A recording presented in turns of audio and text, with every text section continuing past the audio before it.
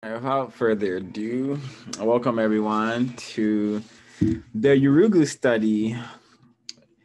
We're covering um, pages 447 to 478. We're covering a section um, theories of Euro-Caucasian behavior, the question of cause.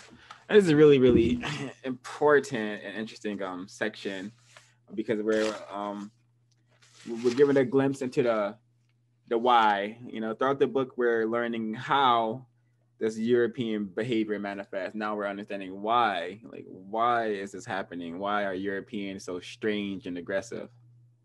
So, getting started, let's do our little um summarization of this section. Um, I'll start, and then I'll pass to someone. So, um, basically what I got from this is that um there are there's like um various theories as to why um white people behave the way they do. And then we're gonna touch into those um later. But most of it stems from like it being like part of their um pathology, part of um their being due to possibly harsh conditions they had to suffer in um the Arctic and um and their harsh environments where nature was literal was the literal enemy due to the harsh coldness and lack of resources. Thus, that manifested in their need to be um, racist in order to um, acquire the resources that um, majority people have. People being non-white, people who are classified as black, brown, yellow, red, and whatnot. And whatnot. So we, we, we get like a, uh, a look into just the origin of racism, basically. And I'll pass it to uh, Mr. N. Um, man, this these examples, a historical breakdown of European behavior, and I, I'm still I, because I read so much of this, and one day I'm still confused as to why they're the way they are. I still kind of agree with. Um, I think Dr. Frances Roasting has the uh, most logical um, reason for why they are the way they are. But um, just reading this and sure I learned about what Europeans stand for and what, what they what they truly are. They are not entities that are interested in anything but domination. That's it. That's it. Like they are, they exist to dominate and um, torture, violence, aggressiveness. That's like in their DNA. It's in their, uh, it's in their essence. It's really, uh, honestly, uh, it's not even scary at this point. I'm kind of like, I'm just ready for um, things to get closer to being replaced with justice. Um, it's, it's just a lot of there's a lot of evidence of what needs to be done. So I'm just waiting for um, folks to, you know, get on board and start talking about what needs to be done so we can solve the problem. Uh, popcorn, Kwaku. Uh, my summary for the theories of Caucasian behavior, uh, basically Dr. Ani, she really brings um, together some of the you know outstanding theories that have uh, still you know that have come from Caucasian non-whites or whites and really compared them, seeing how seeing how they uh, do again how they address the issues of behavior in Euro Caucasians, and really goes in depth to help us understand that essentially for me that you know they all these theories are essentially talking about the same thing but the different varying perspectives of how europeans see themselves and how you know africans see europeans and how those how they vary. Um, i guess that's it for me. Uh, i'm gonna go ahead and pick Mies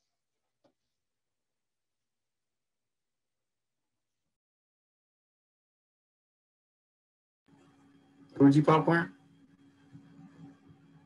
mais, mais.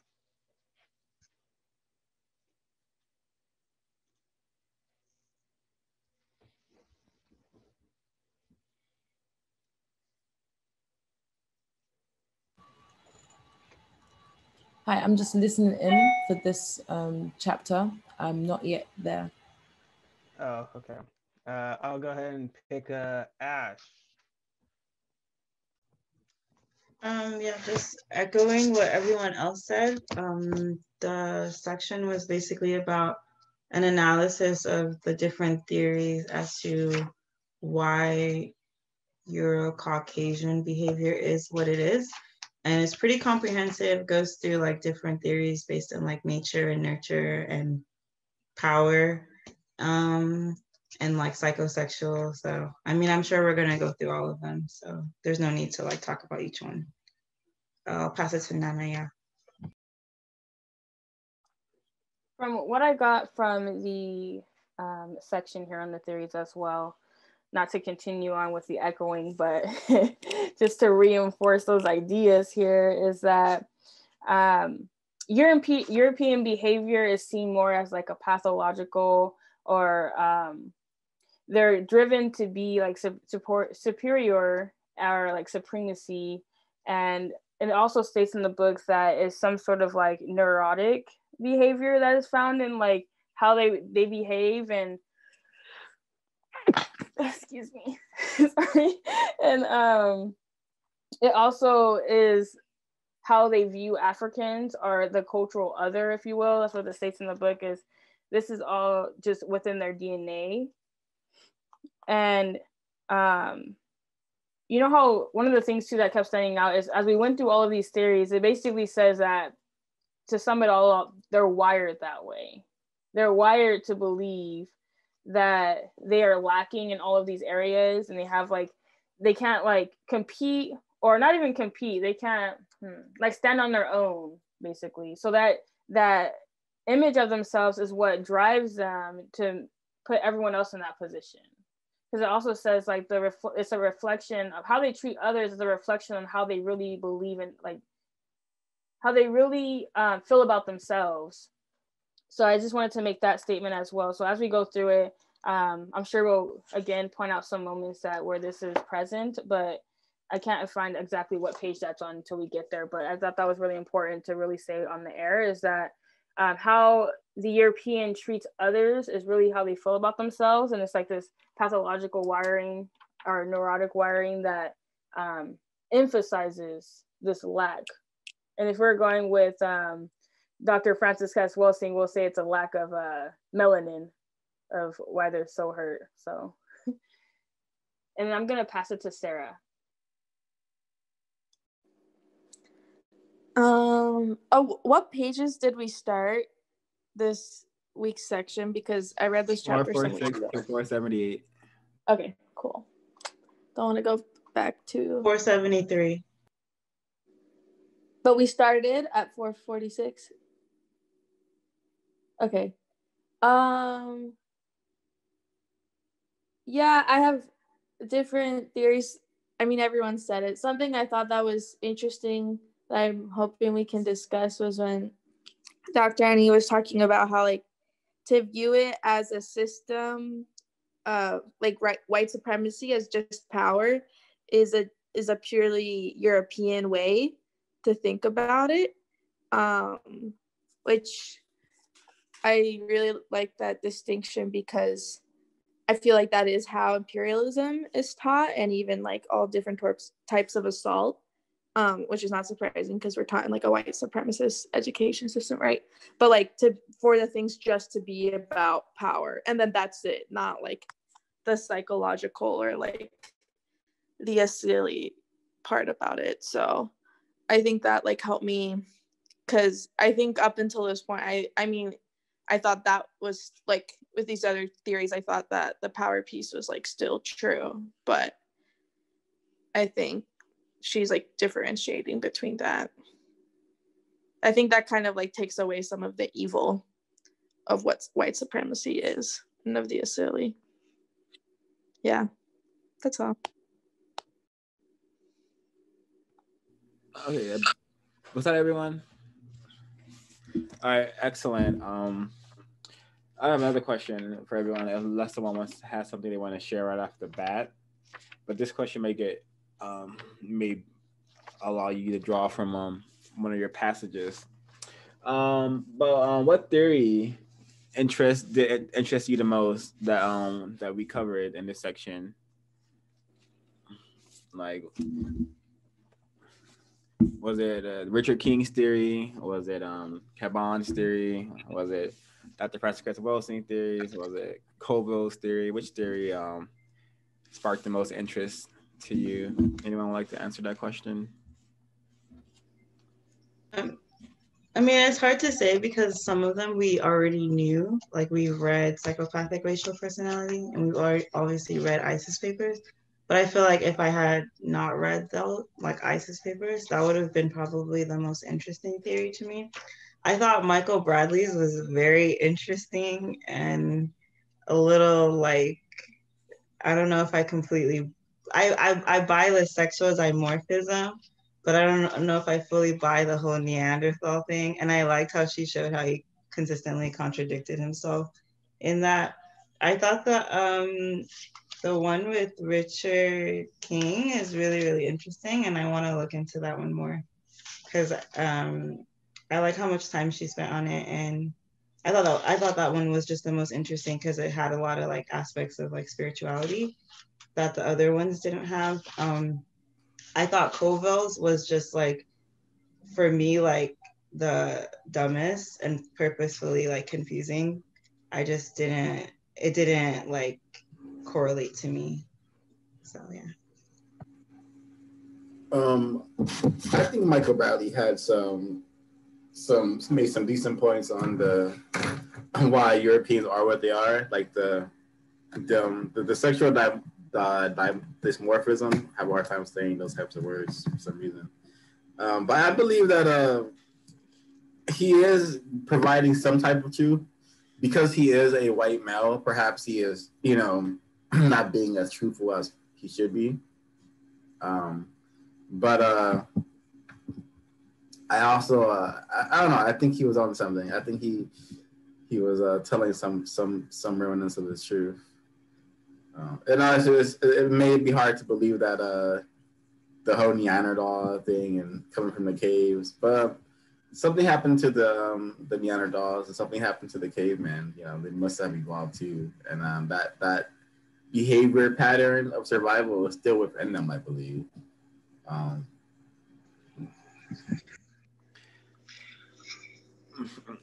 Oh, for me, um, yeah. Oh, sorry. Go ahead. Um, for me, a lot of the, I would say, um, the most interesting. All of them are very interesting, minus Kovel's because it was just um, very confusing and like lots of um words. Most of them were like I would cons- I would call lies or um withholding the the truth. But I really really appreciated Michael Bradley's um theory because um the whole aspect of um white people seeing um themselves as like each one is like a, a its own unique species is um white people seeing themselves as, as their own unique species individually is it makes sense to me like for a white person to to look at another white person and not even see like someone who belongs to their group but uh, another individual white person who could be some sort of threat to them. I think that can relate and, and um allow us to understand why white people without race and white supremacy were like maiming each other and slaughtering each other by the by the millions and thousands. Um, I also like um, Richard um, King's a lot because he's one of the few um, writers who uh, has the the scholarly um, ability to um, just just straight up and say white people don't have souls. Like, they don't have souls, or if they do have a soul, it has been like largely retarded or mutated or, or made something to be a soul that thrives for chaos, destruction, deception, and vileness.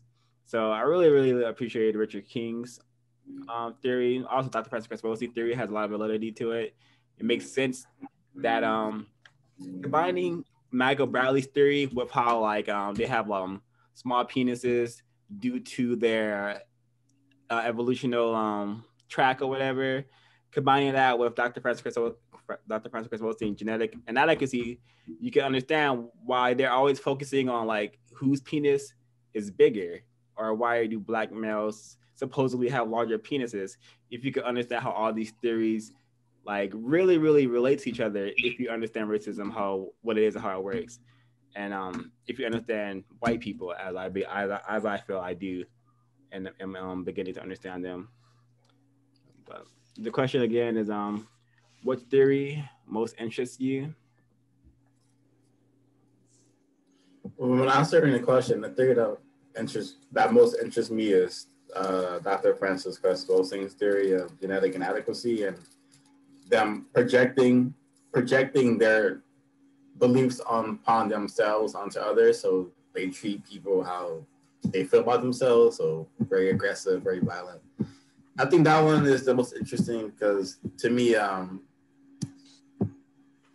Dr. Frances Cress Welsing was a uh, a doctor who had like 40 plus years of uh, experience. And I just feel like um, it's so rooted in logic and um, human psychology that it's hard to, to not um, to honestly believe. You know, to me, it's like when I read it, I just immediately believe it. And that's the only theory that 100% uh, resonates with me as truth. Like, uh, Bobby Wright's psychopathic personality. Um, that, that that that is a very uh, that's an accurate one, but um, it's, it's not as in depth or um, um, fleshed out as um, Dr. Frances Crespo's theory is, I believe. Um, yeah, for me, uh, so I there she gave the theories of non-whites or African poets or African writers or psychologist theorists, and then the white theorists. Um, Kovel's one for me. Uh, it, it was an instance of you know kind of telling on yourself. You know, he he admits that European cultures in an infant state, which I would agree with. um, I don't I he you know he brings his claims. Obviously it's not the be- the the one i agree with the most. I just agree with that with that um, statement. Um, i i kind of enjoyed michael bradley's uh, theory about about it because um, i see a, you know um, sex for at least psychosexual or sex sexual um, concepts for Europeans being, you know, one of the things I see most evident, especially as to why they would go around raping and raping so many of the world's peoples. Um, I, as like as most of us have, we've all, you know, read Welsing's theory, so I didn't really have to, you know, I already knew what she was talking about. So, and I've I've already agreed with that theory a long time, the first time it was pre- presented to me. So I didn't need any kind of more convincing. Um, she also brought up uh, Diop's Diop's uh, theory. Sorry, I lost my pages. My computer shut off. Diop's theory about the nor- uh, the northern cradle. Um, I never really um really heard of that concept before. The northern cradle and then the southern cradle. I've only heard of the cradle of civilization. You know, being um uh, in Africa. So that was uh, interesting to uh, an interesting perspective and an interesting concept. And Richard King, Richard King's uh, concept was uh, very eye-opening. Uh, it's something that I've heard of. You know, the and it's even mentioned in this book and, and other books about melanin and the connection that we have because of our melanin to you know higher to the source to the higher power. Um, so him going in depth with that, it really got me thinking. Um, thinking about you know the I guess just more in depth of the importance of having melanin and the connection that it gives us, which you know ultimately brings brings me back to Welsing's theory, you know, and that lack that lack of melanin. Um, but to answer the question, I would have to say King's theory, and then Michael Bradley's in the in the close second.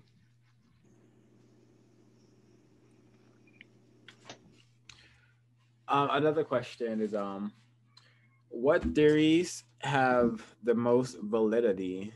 Do um, Wait, Swat, can I ask Uh, yeah, respond please. to your first question? Yeah. I've I just have or for everyone just to make sure I'm not missing something.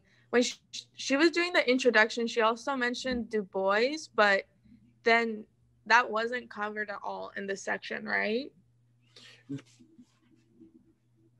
Correct. But if Du Bois has a, a theory that you're familiar with, you know, like you can surely um, share that one. Okay. No, I haven't. It's been highly recommended to me, and so I was just when we started the section, I was really ex- that was like what seemed most interesting, just because I've like heard about it so much. But um, hopefully, maybe it's like in the chapters to come, or maybe we can read about it sometime in the future. But no, I I'm not super familiar, but I heard it's really good. So just a shout out to that. I'm done. Um, one of the things too that I wanted to quickly mention when I read through the theory section, um, the only thing that really like stood out and caught my my eye was honestly Dr. Cress Welsing. I don't know if it's because I've read her book and I kind of went in depth with that theory, but I think it's also the one that makes the most sense to me. I know Koval or Kovel also mentioned like they both kind of mentioned like oh it's systematic, but even some parts in that I kind of was like could be, you know, could be. But the only thing that makes sense for my brain is that they have to be entirely wired different. And she gave it to me, they're wired different due to their lack of melanin. So I don't know if it was, and then she also mentions in her theory is that she feels it's not just a lack of resources that drives this superior like mindset or the superior materialistic um, characteristics. I think it's more of just like oh they're they're lacking like of this melanin so therefore and then she also mentions too she goes in depth here is like how melanin i'm not sure if it was please correct me if it wasn't dr frances cress welsing's part in the book but it talked about how um, melanin basically gives you like i don't want to use the word I don't want to use the word intelligence, but like smartness, you know, like you know what I mean? Like it gives you something like like energy and it also like gives you like this different brain power that you can't like if you don't have melanin, you can't like utilize like the right half of your brain. So like I don't know if I'm just getting too into that part, but that is pretty much what just like caught my eye and I was like, this makes sense. It's okay for people to be wired differently, you know? Just Yeah. it makes sense. I think that was Richard King who, who touches on that uh, on mel- melanin being a an intelligence. Melanin is an intelligence. The fact that we have neuromelanin, which is why we are perceived to be more um, sensitive than um, white people because they their lack of neuromelanin, which is controls your how you feel pain, which is why a white person could get slapped in the face, not feel anything. A black person could get hit anywhere and they'll pick up on it because the neuromelanin is telling the body, hey, you're in danger, you know. So melanin is an intelligence in itself. And um, unfortunately, I suspect melanin to be um, a very, very important substance that the body needs to um, function in a non-psychopathic Papi, tu internet está sirviendo? in a non-psychopathic um, behavior. So if you don't have melanin, perhaps you could be more um, um, likely to do things such as raping babies, feeding babies to alligators, hanging black children, putting black children on ships, and selling them to um, to countries called Americas and um, for slavery, sex farms. If you don't have melanin, this is perhaps why all these things can manifest because you don't care about anything. You don't you don't have uh, any um, spiritual connection to hey, this is wrong. I shouldn't be hurting, causing harm, mistreating people. But perhaps because the lack of melanin, you just don't care about you know any any of like anything besides um, your own survival. And I'm pretty sure this this is, has like some validity to melanin being a huge factor and like why this planet is in the state that it's in because melanin is very is, is, required. And due to white people's um, mutation due to their circumstances perhaps their um, melanin producing capabilities has been retarded. Therefore um, they are in a really really um, destructive state that causes them to destroy myself and people who look like me 24 7 in order to compensate for um, their lack of melanin and their um, will to remain, I don't know, racist, white supremacists. You brought up some great points. One of the things too that I, when you're talking about this, I was thinking of like this. Um, I know like in Frances Cress Welsing, we, we learned about like even earlier in this book, this unconscious and conscious, um, like unconscious and conscious things that happen to us. So thinking from like a European like standpoint, um, is would you say like this lack of melanin would be like this unconscious thing that happens between a European like when they're born? So they, that's the reason why they grow up and think a certain way. Because I know some people who always use the phrase, especially if they're European or white, they say things like, um, um, maybe I'm not racist, or but deep down they are racist, like unconsciously they are because it's just like they're I don't know if I'm making sense, but I'm trying to say basically like there's this this unconscious knowing, like this unconscious thing that says, "Hey, I'm lacking melanin, so I act this way." But to grow up in a European body with this unconscious thing that's happening within them, it kind of like is this battle between like who they want to be but they can't be, if that makes sense. So maybe they want to be like, "Hey, I'm not racist." right? I I can be nice. Let's just say that just for words. I can be nice. But this un thing is saying like, but you're not wired to be nice. Exactly. Does that make sense? Okay. Yeah, I would I would say that um the, system of white supremacy is so awesome and powerful that a white person is definitely conditioned to be a, a racist um, due to like their environment. But even when they try to step out of like that I'm not a racist box and, and attempt to learn about how to so-called not be a racist. It's just something in there as silly that where they're really approached with like producing justice and they're really uh, approached with their with the reality that they've been tra- con- conditioned and trained to see black people as nothing more than animalistic niggers.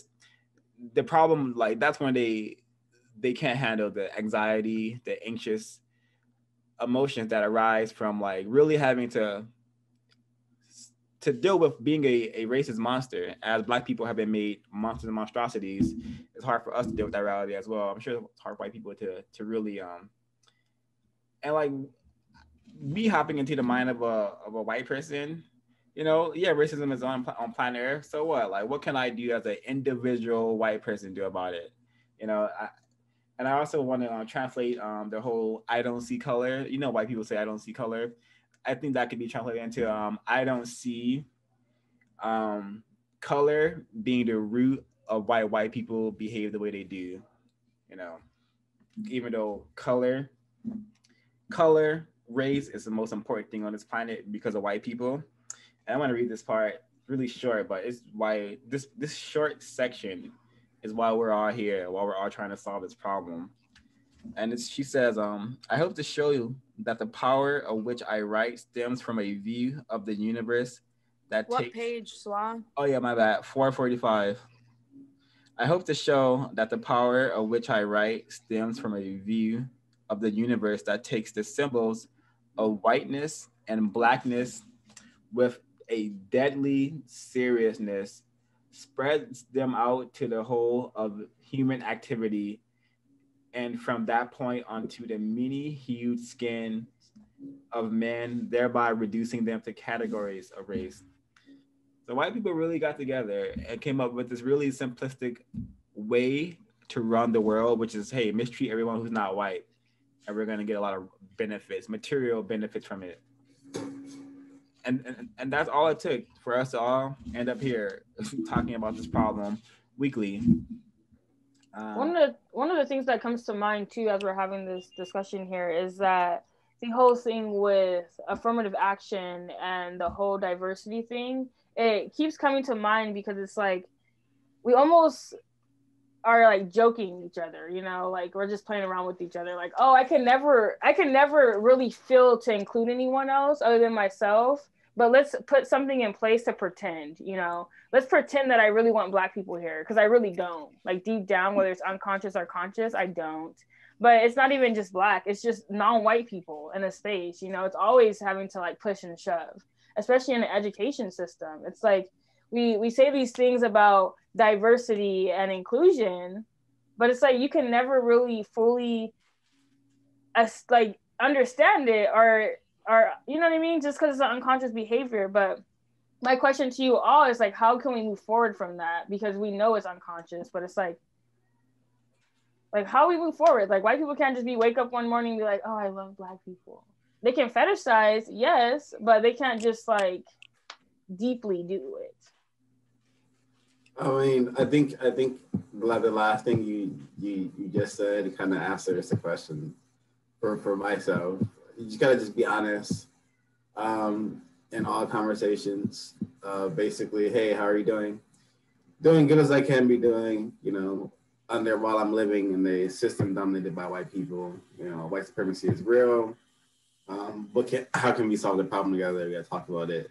Um, but yeah, I think about that as well. Like for me, I just try to be as honest as possible. Like, you know, I, I it's hard for me to like trust anyone in my institution because everyone in my institution is uh, belongs to the uh, you know Caucasoid species. So um, and like they they they show us their films, and um, I just learned that uh, one of my uh, I, I don't want to call these people my my professors anymore. So one of the people who works here, he um he made a movie, famous movie that has Philip Seymour Hoffman in it, and um basically there's a part in the movie where this black guy is getting fired, and um the, the guy is just so rude to him, and he's like, "Get the you're fired, you piece of shit."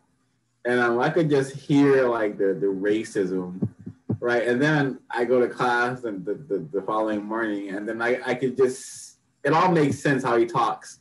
Cause um let me just go a little bit more deeper. He's talking about his favorite color. He says, Blue's my favorite color. My eyes are blue, it's the norm. That's what he said in the class, you know. That's the norm. So these Europeans really do uh, see themselves as the only human beings on the planet Earth, and um, the whole cultural other thing is to be received 100%. Um, all non-white people, especially black people, can be killed and replaced quite easily. Um, so just be honest, like you know, as a uh, black male for myself, I gotta, um, i always try to be uh, honest. Like when I come back to America, I'm about to rent a car so by me doing that, I have to be honest with myself. I could get put over and shot in the face by a pig. You know, same day I get the car, the next day. Very, very possible outcomes of like you know, white supremacy. So it would be dumb for me to like not know the risk that I that I, that I have. You know, and white supremacy is something we all experience. So why not talk about it? You know, it's insanity not to. Let me stop uh, rambling. Um, I think that's a really good question. I, I think about that a lot. Um, I don't really have an answer, but I would say that the closest thing I'm thinking about is that, like, one, I don't think that you should even be talking about or thinking about white people in terms of wanting to change them or do anything with them.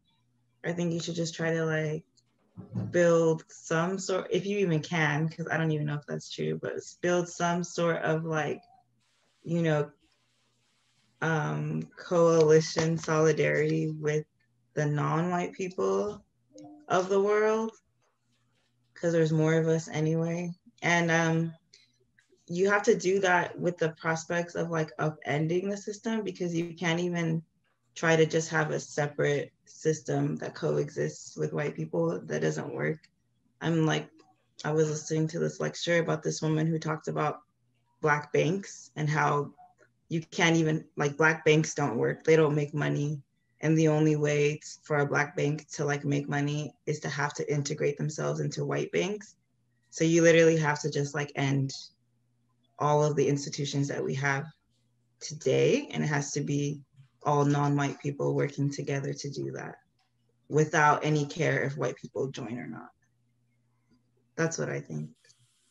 I have a follow up question, but I know others want to want to answer, but I'm just gonna just say I have a follow up question, but I'll hold to the end. Um, to answer the question, I think it goes back to you know not trying to kid ourselves um, with these you know affirmative action, and even now with the with the new president and all of his executive actions going to what he would call equity. We see it's like we continue to kid ourselves. It's it goes back to this problem, you know, on page 449, where it where Weber implies that the difference is intellectual uh, it never seems to have occurred to any European theorist that the problem was not association of white skin with greater intelligence. Rather, it was with equating European culture with intelligence. So you have affirmative things like affirmative action, where oh, if we just get more black people into, into you know these higher education, uh, the the uh, the race problem will somehow end. And you know, you have black people who who honestly believe that. You know, you have black people who believe that if we somehow are able to acquire wealth, we are no longer subject to racism and white supremacy. But racism and white supremacy controls all the money. And you know, then you go on and you, you can even go into interracial marriages, whereas we continue to kid ourselves by, oh, if we are able to marry into these white families, we should racism doesn't exist. So black black people, African people, non-white people all over the globe need to stop kidding themselves. Racism, you we we have done things like affirmative action. We have done things like uh, it started race, uh, you know, interracially married. Sorry, coming into union with these with these other groups, and racism is still here. It still exists. So, what exactly are we still searching for? What uh, what other evidence do we need that is telling us that racism doesn't racism has ended? You know, I I hear a lot of talk, especially with the new president and his health, his equity, his equity initiatives, and for me, it's just a load of hot air because once again, what does what does equity actually mean? Are we just trying to get more people into schools? Are we trying to get more black people into schools? Are we trying to get more black people working? Of course, black people need to work, but are they going to be, you know, relegated for their entire lives into, you know, into just workers? Are they are they going to own some of these companies? Are they going to be able to, you know, like Ash said, own some of these banks and be able to have some successful banks? I don't think so. As long as we continue to kid ourselves into thinking that we can you, you know run away from racism and that if we don't address the the white the, the white behaviors that you know caucasians exhibit that that racism will never end yeah that's why i also didn't like bradley's because he literally was saying like we should all just have sex with each other and that will end like racism I, that's why I was like, this is very interesting that this white man is saying this. Yeah, I, I saw that too, and because he let me find the page on page um. Sorry, your question. Wait, don't forget your question. follow up. Uh. Oh, he's on 462 is he said uh, on 462 perhaps the most unique aspect of Bradley's argument is his conclusion that European values and behavior towards other may be casually tied to Euro- European sexual sensual life. And on the page before on 461, where uh, he says, or where, where Dr. Ani says, yeah, after all this, Bradley says that Caucasoid aggression is not innate, not racial, and not immutable.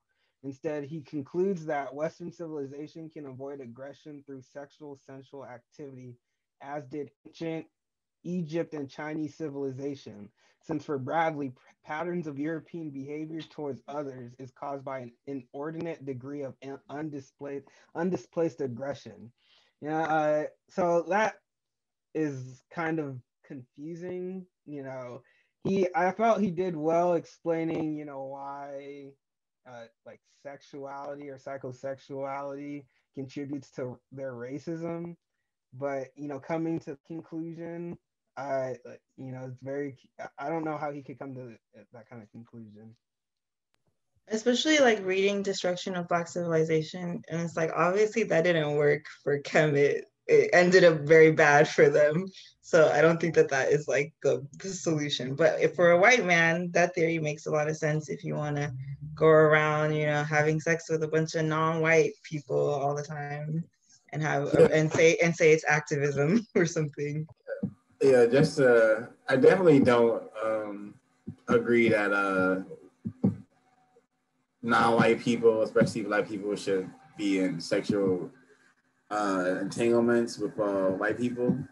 Um, nor do I think that will lead to any type of constructive work um, being done and eliminating racism, white supremacy. Um, but there, there, there's no but actually. That uh, that is what I wanted to say. Um, I think, uh, yeah, I, I'm reading this book, Pieces of the Puzzle. I'm just gonna say, say in short, to engage for a non-white person to engage with a white person is basically rape. You know, uh, it, it it is probably better for a non-white person to uh, be killed versus having sexual relations with a white person because of the psychological uh, effects. It literally leaves the non-white person unable to comprehend the existence of racism, white supremacy, and um, that's that. i have a question then or actually ray had a question so or no no yeah so you can go ahead No, go ahead. Ask your question because I so I wrote mine down so I'll remember. Okay, because uh, Diop is married to a white woman. So do you think that his, Uh, do you think that that's why his theory is essentially based in the nature or the nurture? Because it, he has to have it that way because that's his wife. Like, do you know what I'm saying? Like, like it's it's a it's about how they were like where they came from and not anything within their deep rooted psychology if that makes sense I think when when when um, black scholars are married to white people, it often uh, inhibits their work from being um, constructive and truthful. For example, uh, Frantz Fanon, he gets a lot of criticism for his books. He's also married to a uh, white uh, woman, and um, not only is he married to a white woman she wrote a lot of wretched of the earth because he was dying during that time so that's that's Wow. another layer tragic. So yeah, I um I do believe that's why his theory was lacking in um, concrete evidence. It was more of this regurgitation of you know oh it's, it's they're like this because they they were they were nurtured poorly. No, they're like this because it's in their DNA, you know, or it's become part of their DNA through thousands and thousands of years of doing the same thing and only refining how it's done. Yeah. Yeah, um thank you for, you know, clarifying that. I didn't know that about Diop. Um it's disappointing to say the least. Um but it, when now when he gave his theory, it starts to make a little bit more sense. It starts to make more sense. I guess I was confused about it before, but you know, kind of giving those two different uh, environments. It's like you know, sure Europeans have to deal with barren wastelands, and you know, and ice, but then Africans also had to deal with you know deserts and barren wastelands themselves. You know, places that were also inhabitable, as, we learned in the Destruction of Black Civilization. So I, think it's definitely a cop out to you know try and just pla- place it solely on the environment. The environment, so you know, no doubt does play a role in it. But to say you know that these people are you know acting the way they are because of their culture grew in such a such a desolate area of the world you know okay so then why why not why don't africans you know have that kind of you know intention and that kind of motivate motivation you, they don't you know so you know a cop out for me Yeah, I feel like it's a, it should be a mixture of both because there's people in Greenland and like there's native Russians who are like, you know, those like people who are like Inuits and they're darker skin, they have like egalitarian people who live in Greenland, they have like egalitarian structures. They they have societies where women and men have like are not women are not treated in the same way that white women are treated by white men. It's more egalitarian. So there has to be something about white people specifically, because there's people who deal with really cold weather too. Yeah, I didn't think that that checked out. I'm sorry.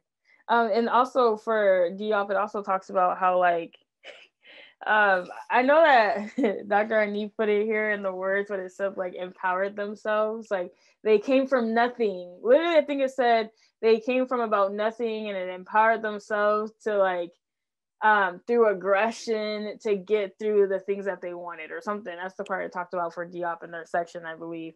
And it was just very interesting how it's like they how it was just like transformed. Like Diop really believes that they empower themselves through aggression, like through aggressive behavior to do all of these things like um colonialism, imperialism, and it says like genocide and slavery, but it says by which they have appropriated the resources of others. If they cease to have access to those resources, they would be at the mercy of the majority. But it's just like, but they came and stole it. You know, they they literally came and stole like resources because apparently they had nothing, and that is the reason for their madness. Is basically what Diop was saying. Please correct me if I'm wrong, but that's what I got from it. And it's like, no, bro, it's not about the resources, Yeah, not the lack of. Mhm. I made an error in um applying logic to Diop's theory. I just thought, okay, uh, the logic here is that they came out of um this harsh environment, which meant that they had to behave harshly and act harshly. But I don't know if he um if if, if he uses that same logic. So I may have made an error in applying that logic to myself because the cradle theory is only worth mentioning if that logic is applied because it, or if he's just saying that hey they have to behave this way due from coming out of a harsh, harsh environment and not saying that their harsh environment has hard coded into them the need to um, attack nature and, and their psyche. Nature is black people and not white people. I don't think that was expressed throughout his in, in his theory. So therefore, um, again, the confusion of being with a white woman possibly um, um, preventing this theory from being more fleshed out and more um, realistic. I feel like that was kind of what he was saying. Maybe Okay. I was re- reading it wrong. I hope I hope he was saying that. Yeah, that makes sense. I Yeah, I wanted to um touch back on what Ash was saying about the societies because I I, I was watching like nomadic cultures on YouTube and one of them happened to be Siberian uh people who live in Siberia and um I don't know why I never knew where Siberia was but I know it's in like over near Russia somewhere. Uh, but these people, you know, they looked white, um, and they're living in like, you know, those nomadic societies where, you know, the women, like Ash said, egalitarian, and I don't really, you know, I didn't know this. Like they they know, I'm sure they're well aware of like Western civilization because they have snowmobiles. So I don't see them going to like going into Europe and trying to, you know, no no real urge. I, I can't say whether or not it's assumption, but I don't see them going into, you know, trying to assimilate to that kind of European lifestyle. You know, but they live they are they're living and I guess somewhat thriving in this desolate, barren wasteland that you know that Diop's describing here, you know, as the northern cradle. So, I mean, even more, more, more, you know, more, more evidence that you know this isn't the whole story. It may be, you know, the white woman.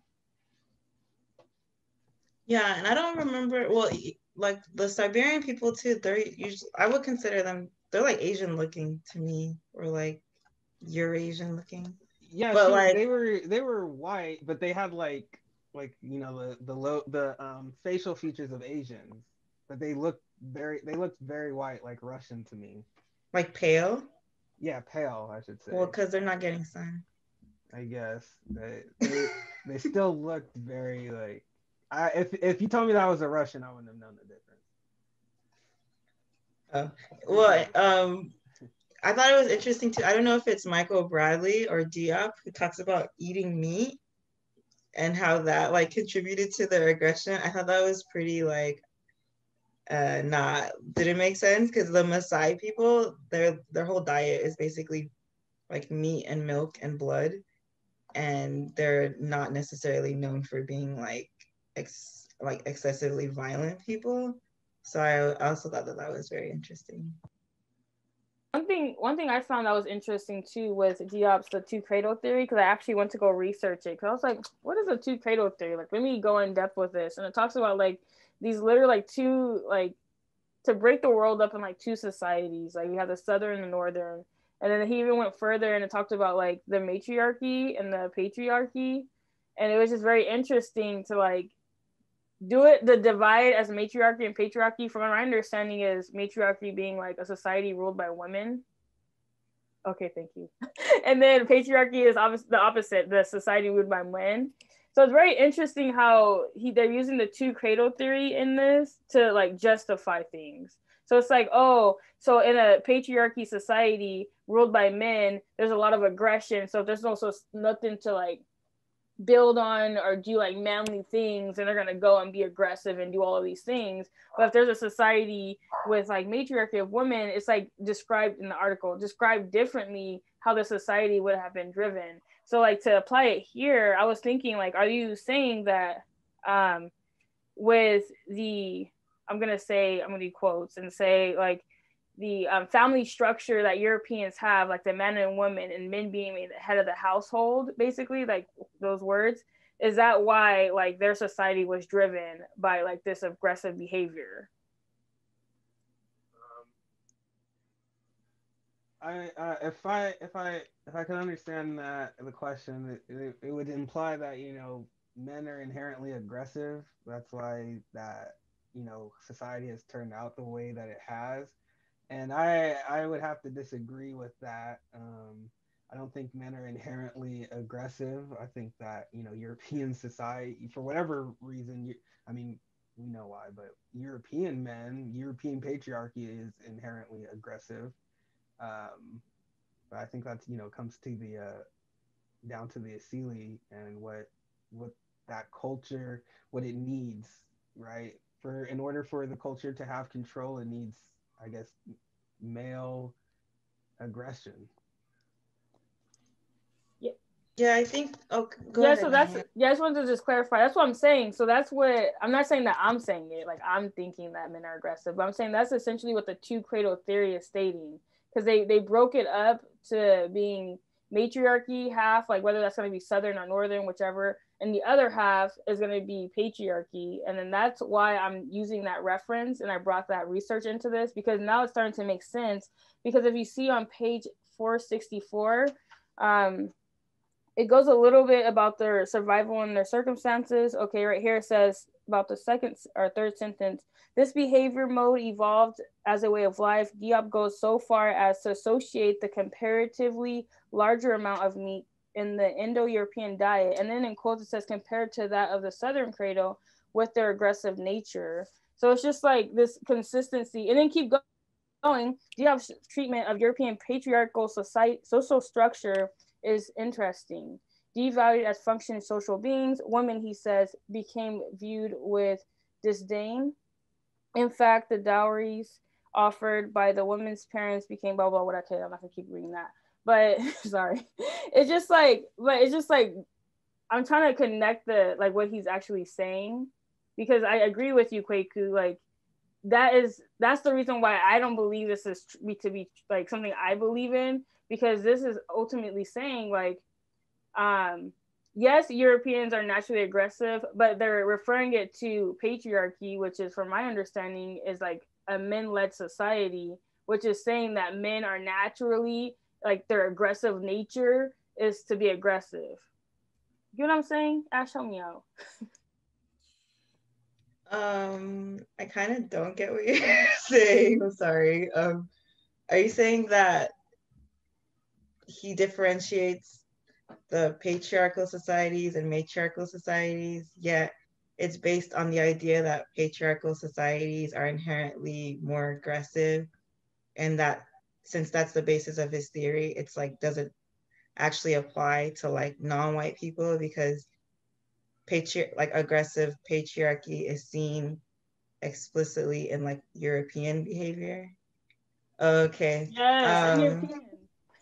Yeah, I I thought that was interesting. I don't get it because I don't understand separating things from patriarchal to matriarchal because then you're completely like cutting out large swaths of people. Also, like I don't like that he calls it northern and southern cradle because it completely like cancels out the like all of the indigenous people that lived in America who are not European, who live in the north, who are not who don't live in patriarchal or matriarchal societies, but more egalitarian societies. So I didn't really get that either. And I also don't think that one, yeah, I don't think men are inherently like more aggressive. And I also don't think the division of labor is was that simplified where it's like the men hunt and the women gather because a lot of times people hunt like like small game like rabbits etc which is like things that women and children were doing so like if hunting is considered like aggressive behavior, then you can see that in like m- women and children too. So I don't really know if it's a product of like circumstances or like environment, if I'm making sense. Like it's not like people are hunting like elks every day, right? To sustain a hunter gatherer group, you're probably going to be hunting small things most of the time and like one big thing maybe like once a month or once a week or something like logistically. Yeah, it's it's interesting, you know, that whole idea that like within European society that the that the women were such, you know, uh, such baggage, such, you know, I don't know what the what the word is, you know, those ankle weights that they that they have for like prisoners, you know, like the idea that that women were that that was their only role in European society seems, you know, kind of ridiculous almost. You know, it's like I'm sure women had more to contribute, but for whatever reason, uh, for whatever reason, I think it goes further back into what Plato and like their whole their whole organized homosexuality uh, that you know that they had to they had the women there was no place for women. So they had to you know come up with some whatever reason they could to you know effectively get rid like take women out of out of society and take out their i guess their worth. Um when as far as the diet goes um i it's hard for me to say if that really contributed because i mean I, I can understand that certain parts of europe were very like uh there's not a lot of resource like resources like she said and maybe it was harder for them to grow food. Um, so maybe they just had to hunt uh, aggressive animals all the time to eat them for whatever reason. I don't know. I'm sure women helped out uh, but maybe maybe that's what he was trying to get at when he was saying that. I don't but then again like i don't think an elk is really aggressive. You know i think it's just running for its life. You know it's not like they were hunting mammoths or anything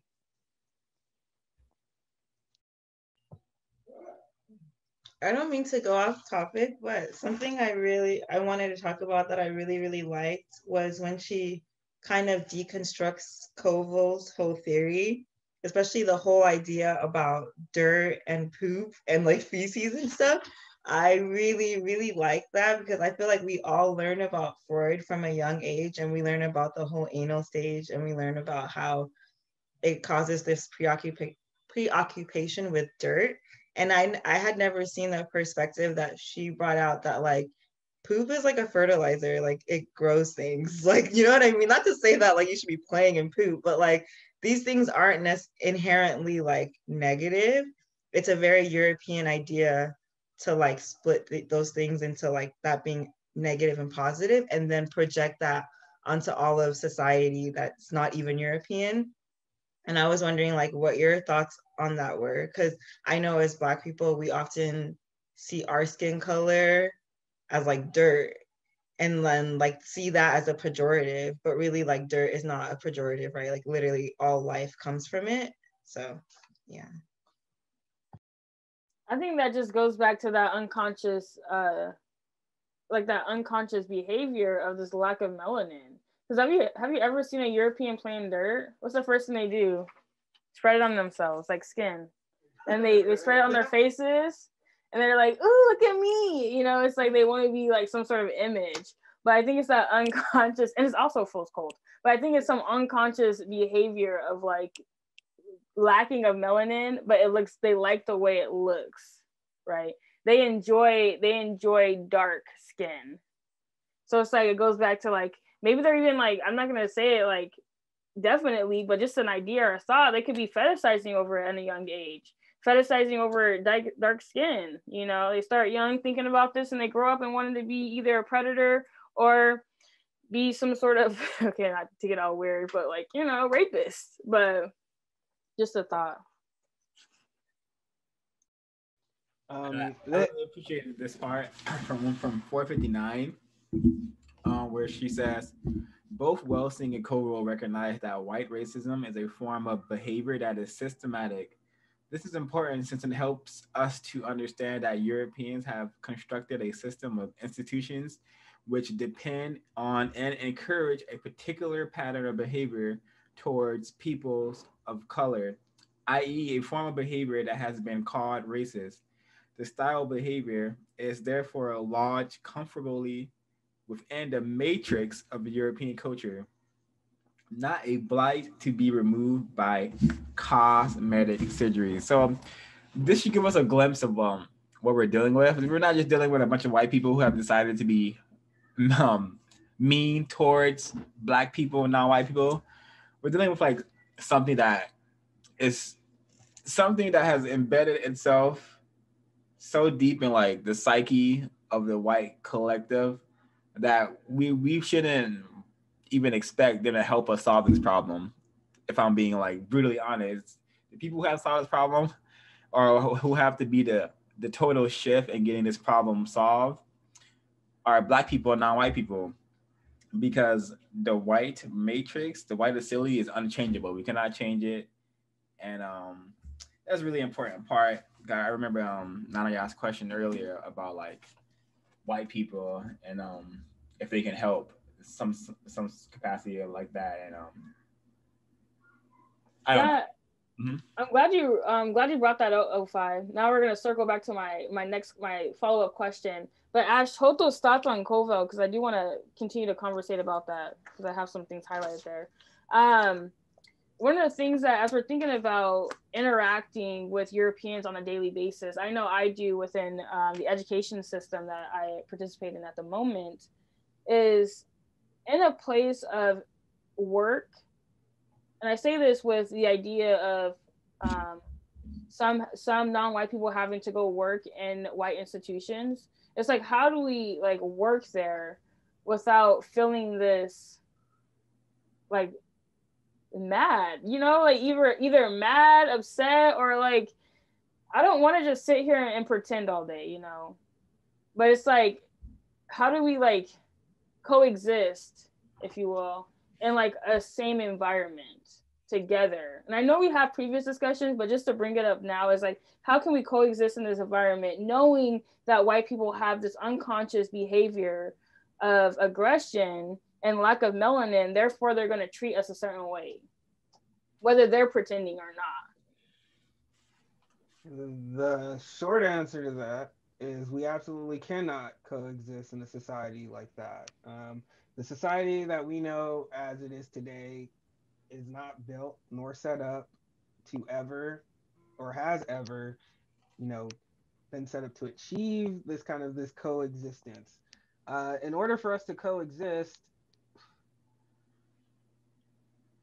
yeah, justice would have to be, you know, be produced. But uh, I mean, justice has never been produced. So what does that society look like? Uh, I don't know. And what steps does it take? All I know is that we need to take steps to, towards producing justice, and you know, which is balance between all people. I mean, that's that's my short answer. Well, I think I, I think I uh, wasn't clear on one part of my my um my. I think question. she means daily interactions. Thank you. yeah, that was. Mm. Sorry to interrupt. But um I know I get a lot of inspiration from obviously like Spook Who Sat by the Door and like learning about like people in South Africa during apartheid, Palestinian people right now. Um, there's people who have to do it all the time. And I feel like we just have to get better at because we are in a war, not to sound like corny, but like I think you do have to really build like that warrior mindset. And you just have to compartmentalize your mind. Like when you're around white people, you're getting as much information as you can, whilst not divulging much information about yourself, whilst like asking questions, but also like, you know, keeping space. And I think it's just about being really, really strategic about, okay, I'm about to be in this meeting with these white people. How am I going to compose myself? What do I expect out of it? What is the worst possible thing that can happen? And how am I prepared to like handle that? And I think that that's the only way that you can really navigate your day to day is, yeah, like I think so. I don't know. So do you? So do you think? Um. So in the in this in this position that non-white people are in, and we are understanding the European as we're going through these theories and this book here is now we're we have to just like almost sit in a room and continue to understand them but is it even like reasonable to try to implement something like implement justice in this specific area knowing that we're in a room and outnumbered by white people every day? I think anything that you can do always has to be like subversive under the table and only with non-white people. That's what i personally think. Yeah i would say um the code. The uh, black people need a code. And um the constant awareness, reality, understanding that this is white people have started a way a war against us. So we need to um, we need thought, we need speech, and we need action. For example, a white person says, um, "Howdy," you know, how, how are you doing? Um, you know, with, a cheery expression to you, you know. Now, would a soldier say howdy to an enemy soldier who has a rifle aimed at them? You know, a soldier would not do that in a battlefield. So why um, would black people sh- should have it in their code to not be so-called friendly with white people, to not smile around white people? Because in war, death and destruction all around you. You know, why are you, why are you smiling, especially when the enemy who is causing all of this death and destruction is right in front of you? You know, so we need speech, thought, and action. And the thought is, hey, I'm at war the action is um, I'm gonna interact interact with these people like a prisoner of war should. You know, learn what I can, but not pretend like I am friends with these people. Not pretend like we can actually have a relationship outside of trashy, tacky, and terroristic. Because as long as white supremacy is on the planet, that's how our relationship shall remain tacky, trashy, and terroristic, involving white people. And that's just not ever gonna change until justice on the planet, and that's going to happen with critical the critical mass of Black people really being serious about this struggle, really being serious about the war that white people have started. And yeah, that's that's my answer. And just but I think you also have to. Oh, sorry. I think you also have to like be, cur- like it's on code to like be courteous to white people because you you um produce the least amount of suspicion. I'm not saying like try to be friends with them, but like if a white person says howdy to you, I would say hello. And like because that is minimizes the most amount of conflict. Like I'm sure a white a black if a white woman said hi to you and a black man didn't say hi to you, something could happen where she could accuse you of rape or something just for being so irritated that you didn't say howdy back to her so i don't know. I think it's more about like navigating it in a certain type of way to have the least amount of suspicion. Yeah one of the things i was thinking about too is like just probably another question. Sorry not to hog the space. But um as we navigate through these white spaces it's like what if we want so for example if i am an educator in an institution and i become um, a teacher of course it's a white supremacy like institution so I'd have to technically create my my if I wanted to teach um, outside of the white supremacy system, I would have to create my institution or not institution, not my education center in a different country in some faraway place where like white supremacy can't get to. But um, in a system here in the states where white supremacy often is very clear and exists, it's like how do we in the spaces of our work produce justice in those specific areas so like say we want to create like someone wants to create a program in their workplace is it even a great use of their time and energy to create this program in a workplace with the um, underlying ability or goal to be pro- to produce justice? Uh, personally, for me, um, I, I'm starting to find it as you know the answer to that is no. I don't think. I mean, no, because you know white supremacy will take it and pervert it, and you know turn it into something that was never it was never intended to be. Uh, but then on the other note, it's white supremacy has all the resources and you know I guess the kind of platform for you to be able to do something like that you know you you can obviously do some of these things yourself um, but it's you know i think it goes back to the code where you you know ask for what should be given or what what you need take what is given and then compensate for you know the rest I do. I think like these are really good questions. I also think because we're reading the labor part of the code book this Wednesday, like I feel like we'll like probably by then we'll have better. I'll probably have better answers. So I don't want to like give any like thoughts that uh, before I've like read something that would probably give me a good reference. Understood. Yes, thank you. Okay, just something to keep in your your head. And I was thinking about this as I was reading Yurugu though, just because like I'm thinking of like, well, damn, you know, like Europeans are something else, man. Like unconsciously, consciously, forward, inner, whatever you want to say, they're just something else. They're just like this thing that is just, what is this? You know? So as I'm going through this theory, especially Kovo, where he's like, um, all this racist behavior is due to the achievement of power. So can I become a madman just because I want some power too? Like, I'm just I'm confused. Yeah, and I love how she breaks down the whole idea about like Kovel's whole theory. Oh, I forgot where it was. Um let me see. Sorry. Well, she basically breaks down how his whole theory is based on this idea that you have to look back into the primitive, like, and that as we evolve, we're somehow getting better because we're able to, um, I guess, rationalize or um, cover up our like primitive desires or something. And I liked how she broke that down and was like, African centered thought like looks to the past not to like watch the primitive, but to learn from and to understand.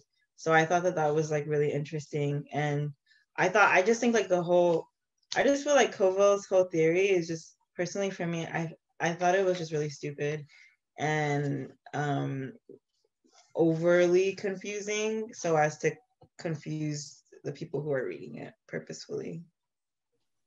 Yeah, I would have to agree. Um, I think it's stupid because it's you know uh, based on Freud's theory, which you know he says he's like a Freudian. I can't believe people go around calling themselves that.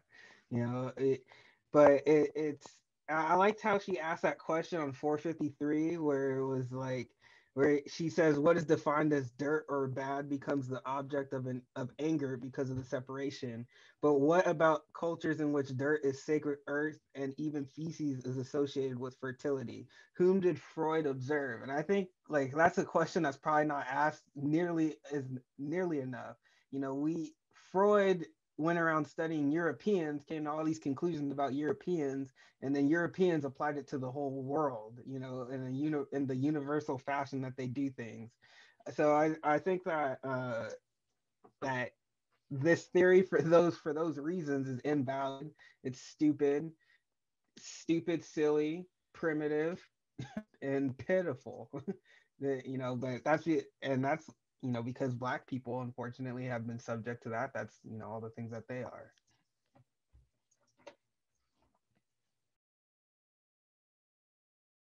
Indeed. I want to read um, from 471 because I really, Richard King's theory has so much validity to it.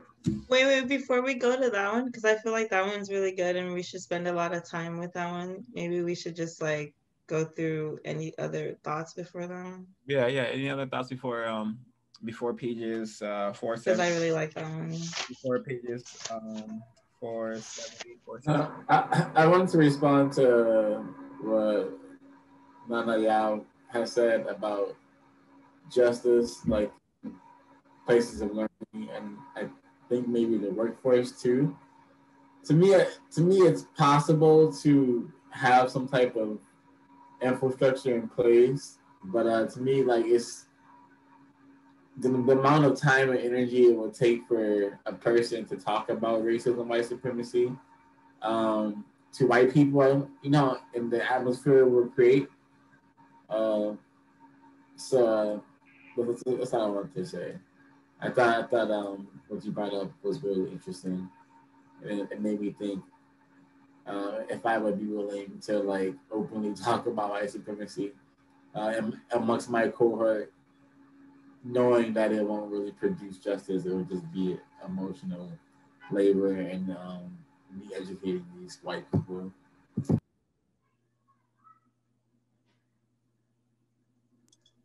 Thank you, Mr. N. Yeah, this is something to think about for sure. Um, one of the things I was thinking about for, I keep calling him Covell. Um, I don't know if it's because this is my Covell. It's Covell. Okay, but anyways, one of the things when I think of Covell on page um, 454, it has this whole paragraph about racism. It talks about um, all of this allows Covell to conclude that racist belief is based on fantasy. And that really just was like, well, then, you know? So you just think this is all make believe. And it continues to say racism is a specific historical situation in which some um, elemental aspects of human experience are turned toward the classification and oppression of people with different ethnic traits. He argues that race fantasies are only secondarily related to the racial realities that they are actually generated in the universal human setting of childhood and used by the culture to handle its historical problems. So basically, you're trying to tell me that this whole idea of racism is a whole fantasy. It, it, it's like he's saying racism is we're using racism as just kind of like a placeholder to blame all of our all of the like the things that have happened to us. But i mean it's like that, that's like that's because all, everything that we've experienced like that shouldn't have happened was due to racism uh, yeah go ahead uh, yeah, I thought that was interesting because I'm like, does he know what racism is? Because I think he's in some parts of it defining like tribalism, because he's talking about like when yeah, what Nanaya was reading, uh, actually generated in the universal human setting of childhood and used by the culture to handle its historical problems. Which I don't even know if that's real, but even if it is real, like race as a concept is a new concept. So how could it be like a universal thing? that was happening in childhoods of people long, long times ago, unless he means tribalism and not racism. I also thought, um, oh, I forgot what I was gonna say. I mean, it like I could see how someone could come to that conclusion because oftentimes people use different races as like a scapegoat. They'll be like, oh, it's the immigrants that are taking people's jobs, or it's like the black welfare mom and things like that. But like that's not because of a, it's not like a fantasy that people are taking out their problems on. It's an actual like system of racism white supremacy right? So it, it produces like a circular thought because it's like a cause and effect thing. So i, I didn't really and it's I, it's still hard for me to understand and just uh, this is my final thought with Covell is that it continues to say on page 455, just to read the last paragraph, um, couple sentences, it says Covell's conclusion with regard to the cause of Europe's strange behavior is certainly disappointing. Okay. It seems that on it seems that on the one hand, Europeans became racist because they happened to be white, or almost, and therefore to fit infantile symbolo- um, symbolic, um, symbolic elaborations concerning the feces and good and bad body in the right way, a way that places them in a position to achieve power over the rest of the world, which was darker, which is bad body. So it almost it almost say like hey, we can't we can't blame the European because they're white.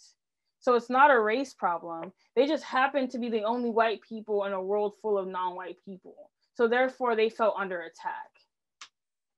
That's what I got. Yeah, and also okay, also when I read that part, that's I wrote something like that doesn't even make sense because if if this Freudian theory about the anal is like universal to all people, wouldn't that imply that even before black people were around white people, they hated themselves because they already associated their skin with poop? But like that's not true and that's never been shown.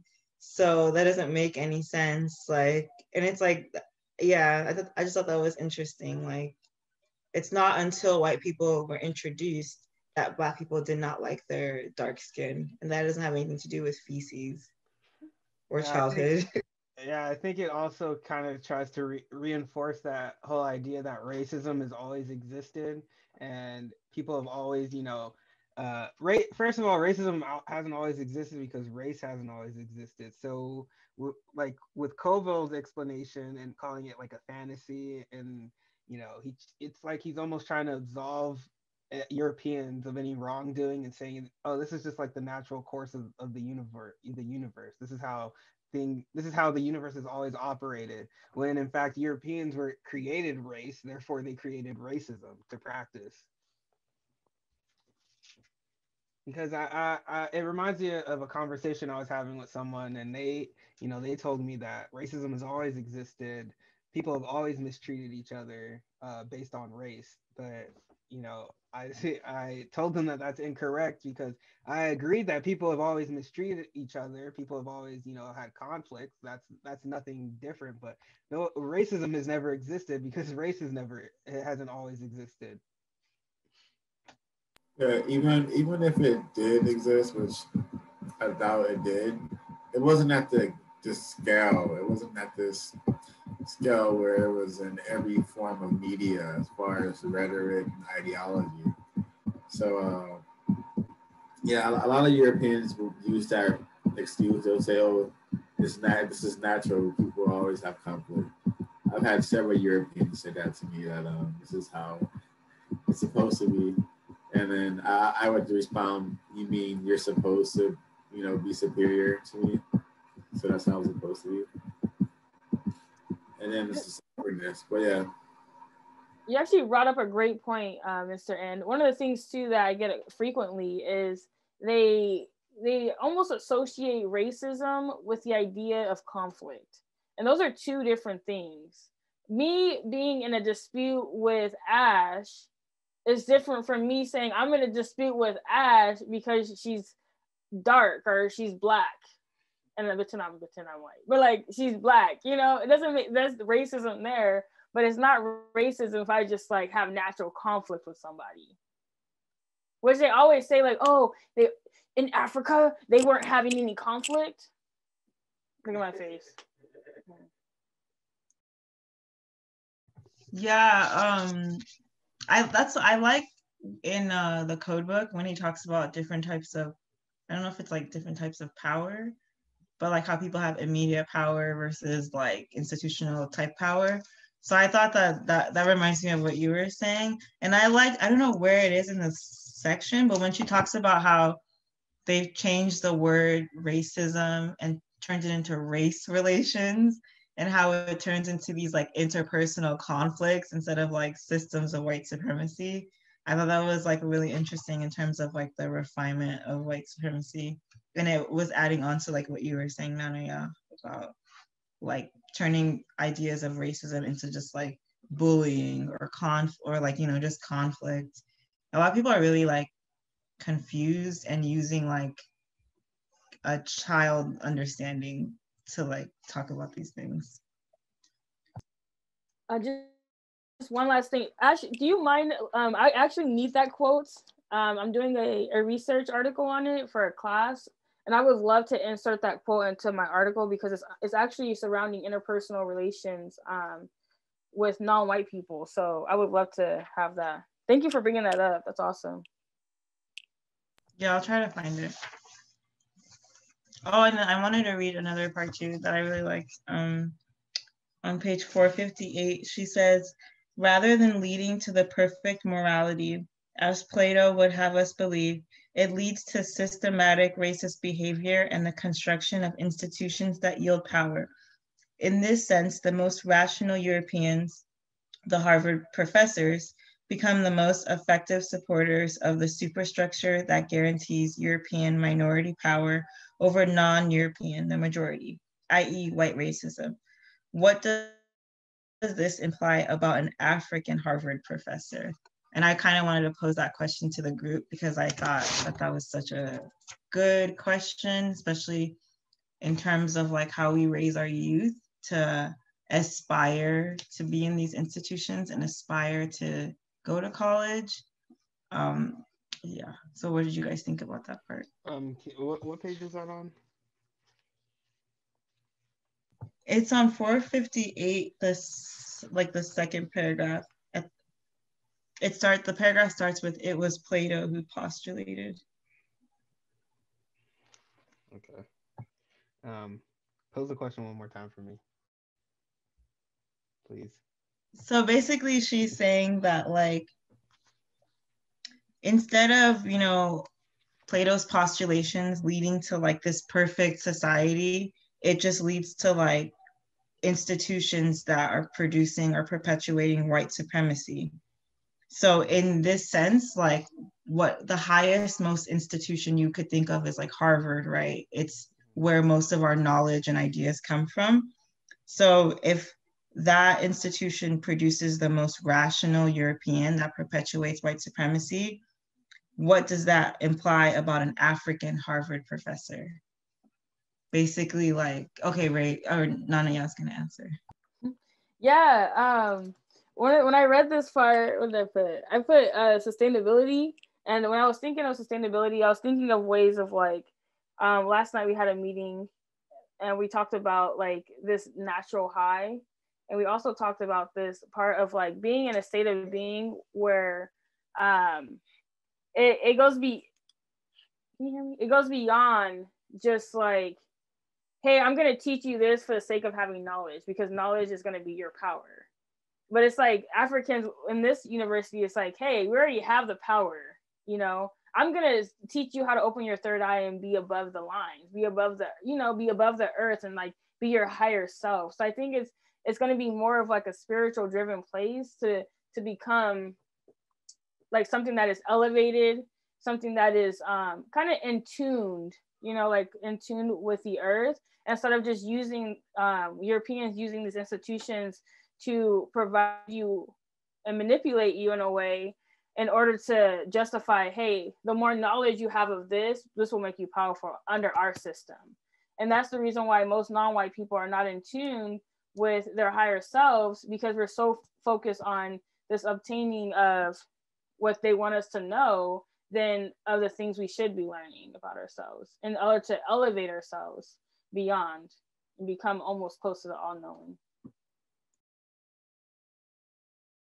Um, yeah, uh, for me, the uh, I feel that it goes back to kind of like in the beginning with Plato, or you know, where they kind of mentioned like by the time somebody has reached that kind of status, like they already think like Plato, like how Plato w- would imagine that person would think, like how they how they're expected to be thinking. So an African professor getting to that level, you know, to that status tells me that he has either come to terms with, you know, racism, white supremacy, and he has there is therefore trying to assimilate into it.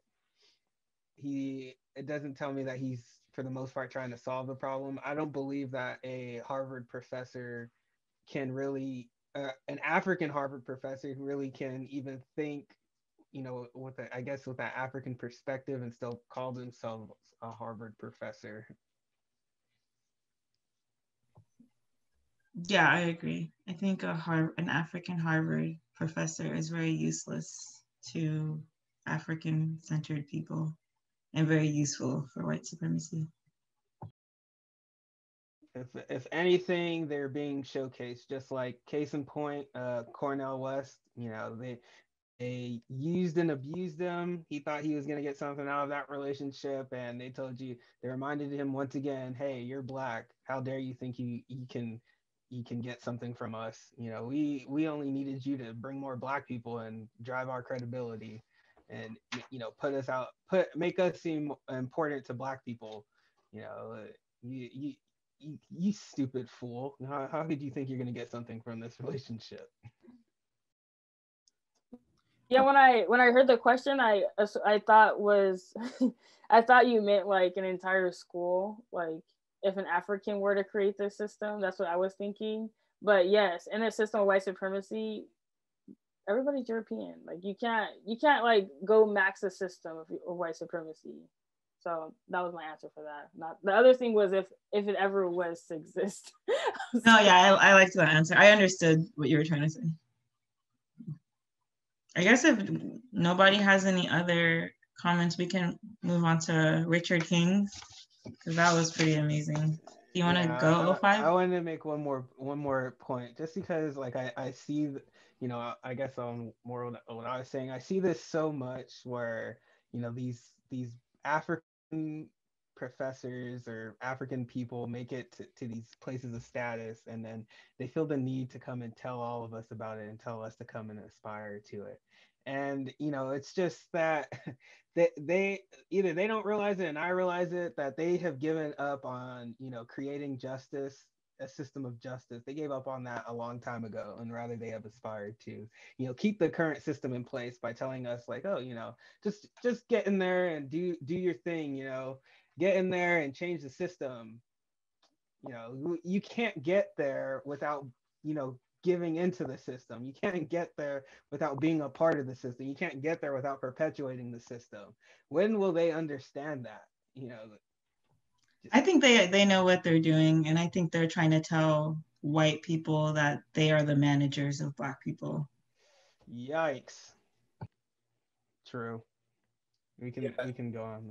Just the masterfulness of um, white supremacy to racially showcase um, various black people, non-white people, and, and various institutions uh, will always be one of their um, prime bread and butters something they can always rely on, something that that can always get the job done. Because most black people um, don't know what they're looking at. Unfortunately, everything they're looking at is racism, white supremacy. So um, great, great, great um, example bringing up Cornel West, uh, him um, failing to get um, tenure. Prime example of racism, and white supremacy. Wait, Cornel West doesn't have tenure. that is fucking hilarious. Jesus Christ. Wow, I didn't. I'm sorry for cursing. That is just so crazy to me because Harvard uses him. Thank you for that information, 05. That's laughable. Yeah, uh, it's it's it just came out a couple days ago. He's like he was up for tenure, and they were they basically told him that you know he requested and they denied him. So, and he's dealing with that now. You know, wow, you know, the the oh the coonism, you know, everything he did. and uh, case in point. Case in point. Mm. So, um, are we ready to step into King's theory? Uh, I really I must begin with um, reading this part because um, white people love this this fictional universe called Star Wars, where the whole theme is lightness or whiteness versus darkness or the dark side. So um since I've been studying the race problem, Star Wars ha- has shown itself to be a huge aspect of um this system. Or you just hear a clear example of like the length to which white people function in this white side versus the dark side. And and and there's there, there's so many explanations as to why um this is so. And um this king's theory king's theory being one of them. And on 471 he's um she says king's theories explain why blackness came to represent evil and why the dark side became threatening to became threatening Blackness indeed was a spiritual, metaphysical realm to which Europeans had little, if any, access. The dark side of things was the inner vision of the unconscious that opened the door to communicate to communication with ancestral symbols and wisdom. His theory would also help to explain the patriarchal nature of European culture is since for C.G. Jung, the matriarchal principle is the key to this primary spiritual consciousness. The matriarchal principle also represents the African womb. European fear of the knowledge of their own origins would, in addition, account for the reason they worked so hard to make it appear that everything of value began with them, a complete reversal of reality. Since they know that they and their culture are comparatively long, this accounts for the progress theory in which the true place of human origins, Africa, represent a universal state of ignorance, darkness. So this is very, very deep, especially when you um, post this with um, um, Kobi Kazembe, Kambon's theory of how like white people, white supremacy, literally um, reality in inverted um place uh, upside down.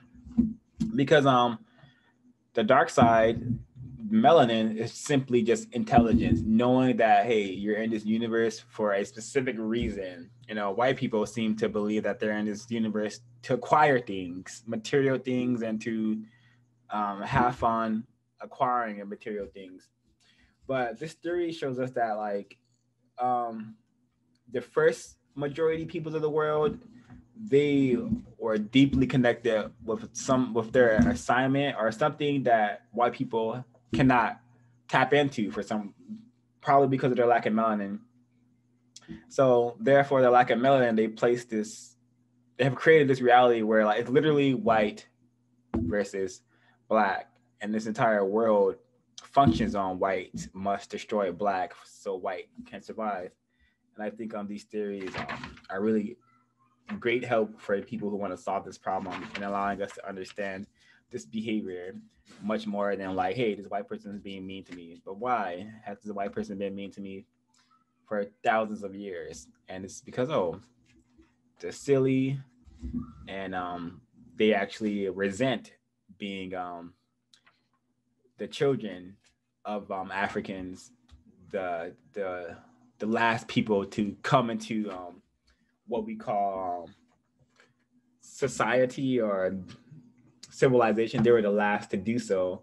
And perhaps they, they feel some type of way about that, which is why they force us to be slaves and be their victims. Yeah, I wanted to talk, uh, mention the, um, well, thank you for that, 05. Uh, two things I wanted to talk about was the pineal gland and then the dark side. Uh, for me, uh, the pineal gland, uh, for some time now, I've noticed that is a target for white people, uh, especially, you know, I've read that fluoride calcifies your pineal gland, therefore making you unable to, you know, access certain parts of your brain. That's one of the reasons why I don't use a fluoride like toothpaste and I don't drink um, tap water, uh, that and Flint. Um, and for you know reading king's theory really gave me some some insight and a real understanding of how important the pineal gland is and because uh, specifically for the purposes that it serves. You know understanding that you know the white supremacist is, is, is you know actively attempting to calcify and make our pineal glands inoperable makes complete sense in you know the fact that it produces melanin and allows us to you know reach that higher state of consciousness therefore being able to talk to speak to our ancestors um, and you know, as far as the dark side goes, I know that as a child, most children are afraid of the dark. You know, um, and you know, thinking about it, you know, watching all the shows that you do, the cartoons, the media, and the, the entertainment, you know, they a lot of horrible, atrocious things happen in the dark. You know, therefore, you know, traumatizing us and and ensuring that you know we don't that everything even even saying the word darkness it still sounds you know somewhat like evil or improper and, you know that just goes to show like the the real effort and intentions that the white supremacist has you know carried out to ensure that we still don't seek that part of ourselves. You know, something so crucial, something so spiritual as dreaming, you know, that requires you to go into the dark for it to happen. Yet we are so scared. I think mo uh, I can speak for myself. I at one point in time I was more traumatized with having a nightmare, thinking I would have more nightmares than than you know actual dreams about anything. So therefore, I would not want to pursue. You know, you know, people talk about being able to control their dreams. People talk about doing things in their dreams. But for me, I still struggle with those things, and I and I know it's due to the the brainwashing and the conditioning of racism and white supremacy. So um, uh, that's it for me from now.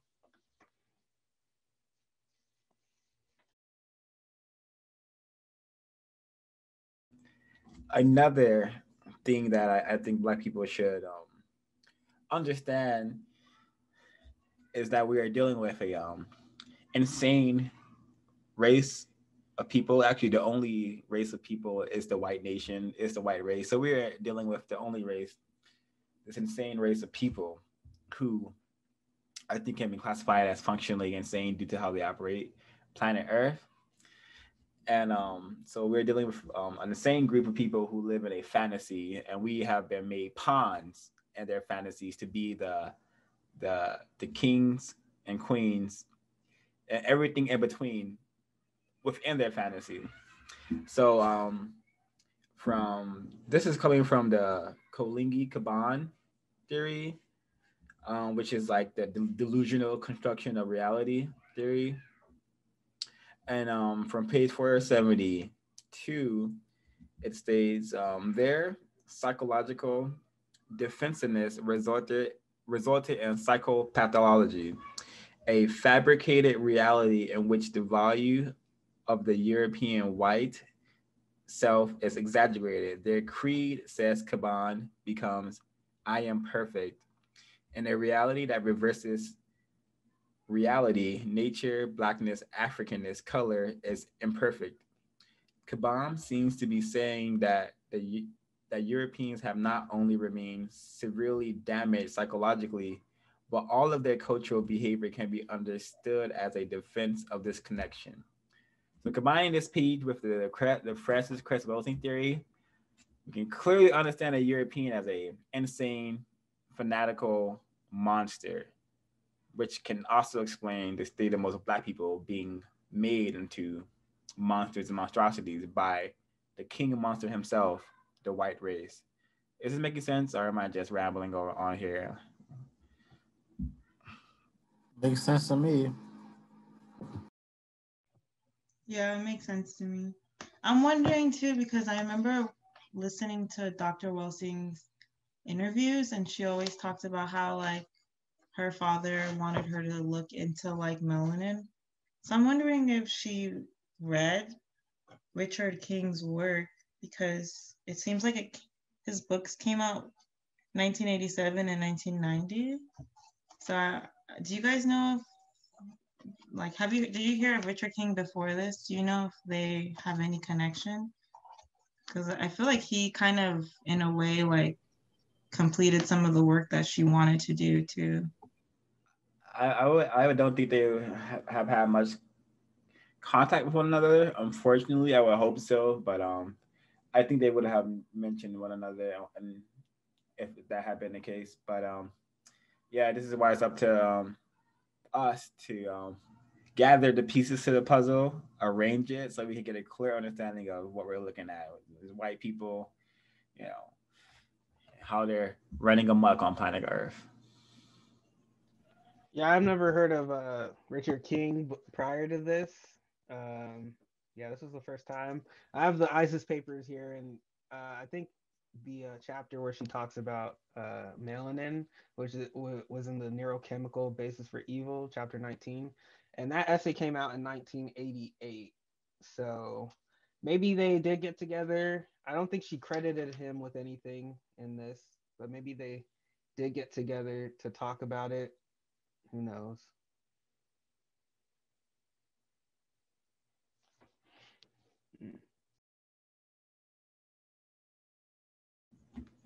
Um. Also, oh, go ahead. Uh, you go. Oh, I was just gonna say like um kind of just like reading through the I really liked reading the whole like scientific and like nutritional base when they when she goes into like the melanocyte stimulating hormone, etc., that type of stuff. That was really, really interesting to me.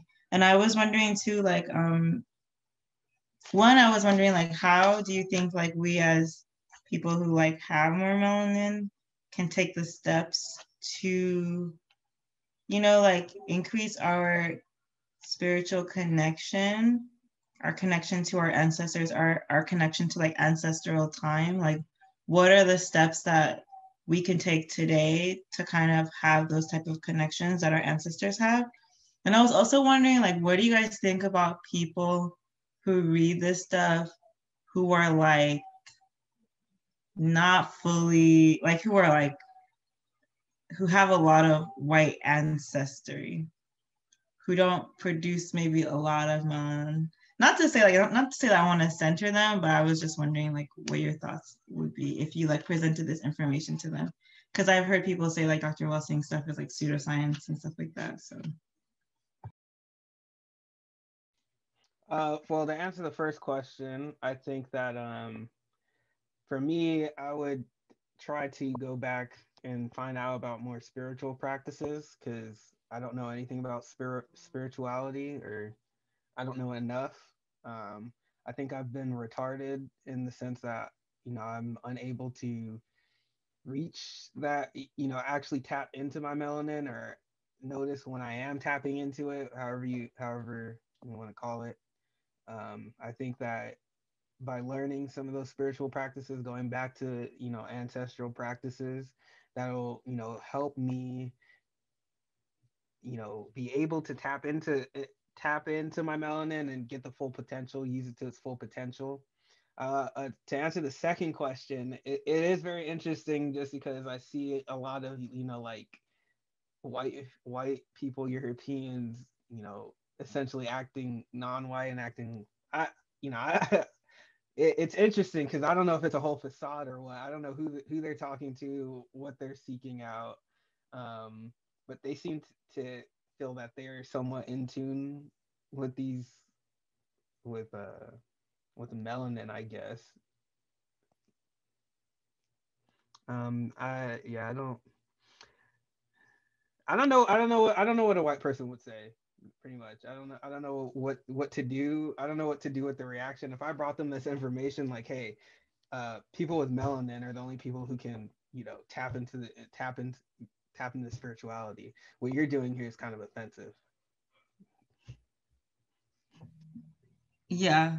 I mean, not even like white people. I mean, yeah, white people, but also just like like people who let's say are so-called like classified non-white, but like have a lot of white ancestry where it's like 60 plus percent of their ancestors. Like that was what I was wondering, like what you think their thoughts would be on this. I think, I think they would. the thoughts would be uh, either indication that they are a racist suspect or they're that they are melanated and to some degree because those who have a um, an ability to absorb truth oftentimes are white people from my experience or are very confused um, victims of white, of white supremacy but it's easy to, clear, to tell the difference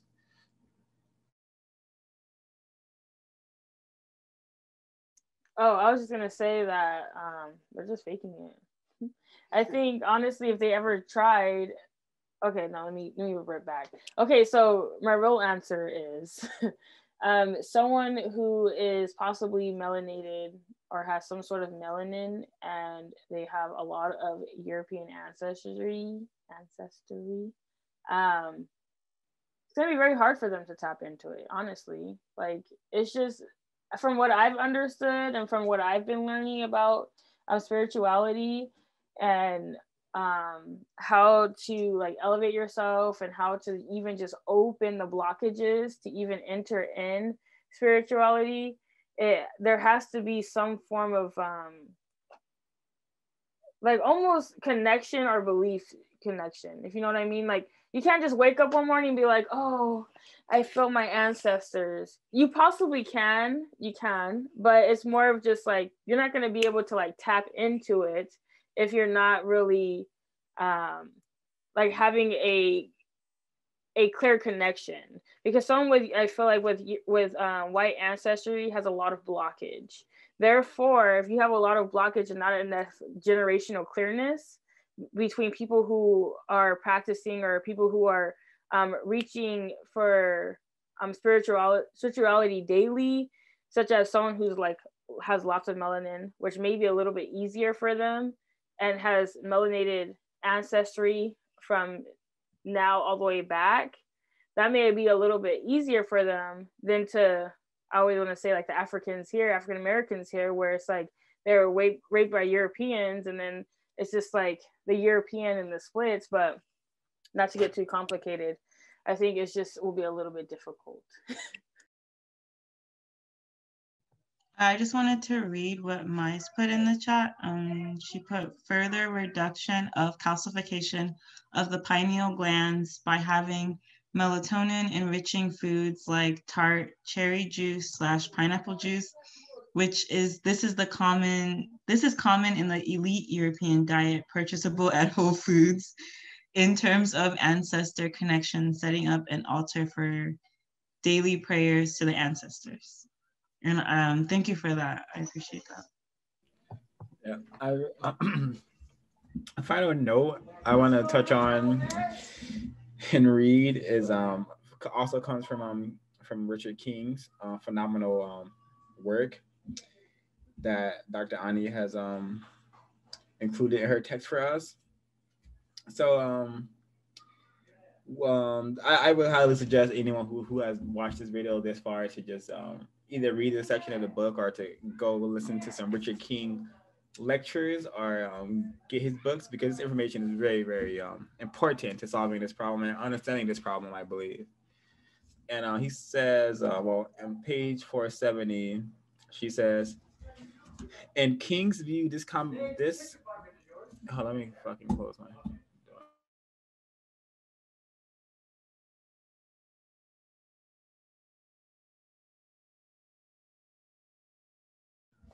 All right. So, um, in King's view, this, in combination with the demands of harsh environmental conditions caused by caused the anticip- I'm sorry. in King's view, this combination with the demands of harsh environmental conditions caused the intensification of left brain function which are cause and effect oriented, and it cut, cut off the unconscious as a source of knowledge. This would account for a materialist worldview, the emphasis on technology and an ability to get beyond linear concepts. This will also account for intensely destructive behaviors on a cultural level stemming from the need for control, power, and aggressiveness. For King, melanin and the pineal gland are the keys to a deeper spiritual consciousness on which level human beings can integrate their understanding slash knowledge to reach metaphysics metaphysical truths that unlock the doors of the dark unconsciousness bringing with it an emotional and psychological sense of security a oneness with self and inner peace. Really important. And inner peace so um, perhaps this can understand can explain why a white person could go up and shoot up a shoot up a building, kill countless people, and then say, "I don't know why I did it," you know, because they're not able to tap into their unconscious thoughts, and therefore they're not able to understand um, their unconscious behaviors. They're able to act on them, but not understand truly where it's coming from. I believe. I'm sure they know it's because they're white. I'm sure like they have been able to pinpoint that yes, all of us white people are, are weird to some capacity, but they're not able to understand that due from them being white, they are unable to um, perhaps experience um, I don't know inner peace, psychological security, um, perhaps even lack the ability to thrive for a world where justice is on planet Earth, ensuring that no one is being mistreated. So um, I, I'm grateful to have melanin, but um,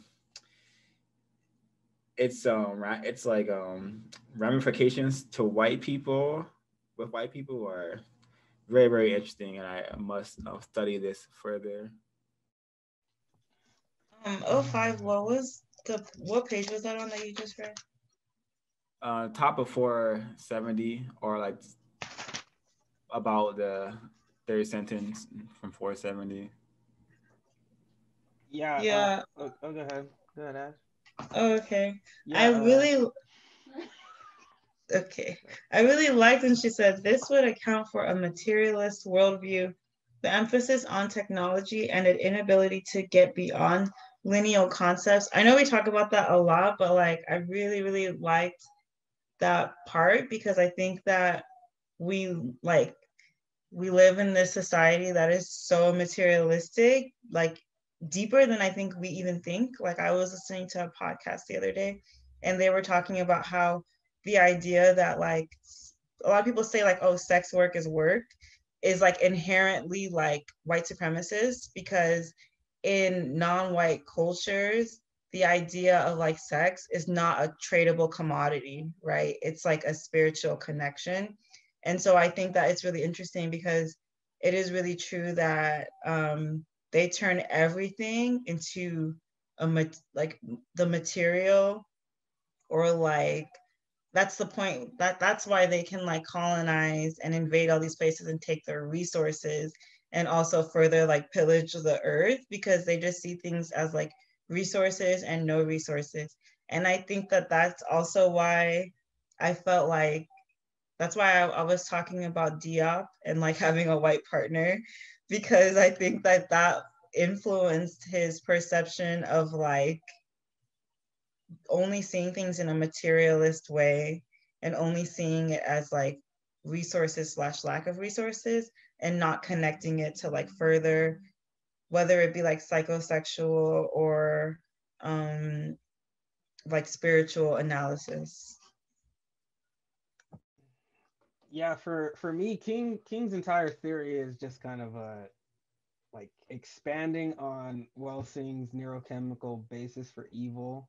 I think that based on based on what Swa said you know i think that when given king's theory when you bring that into, into effect kind of explains that you know the lack of melanin therefore allows such evil acts to take place. And allows it gives the platform for these things to happen. I think with the issue that seems to be going on is that rather than blaming europeans not blaming them because it's not their fault that they don't have you know melanin but rather than you know actually coming to the conclusion that the lack of melanin that their lack of melanin is the driving motivation for their aggression against people with melanin. And you know st- and chalking it up to like ash said to resources and you know uh, uh, racial fantasies or or freud's theories blah blah. Ooh, the the um the statement needs to be made that these people are attacking, aggressing against the world's people because of their lack of melanin. That's something that I, I would like to, you know, get get more accustomed to saying. Um, you know. And also, Ash, you know, what you said was very against women's rights. wait what do you mean You know, sex work is work.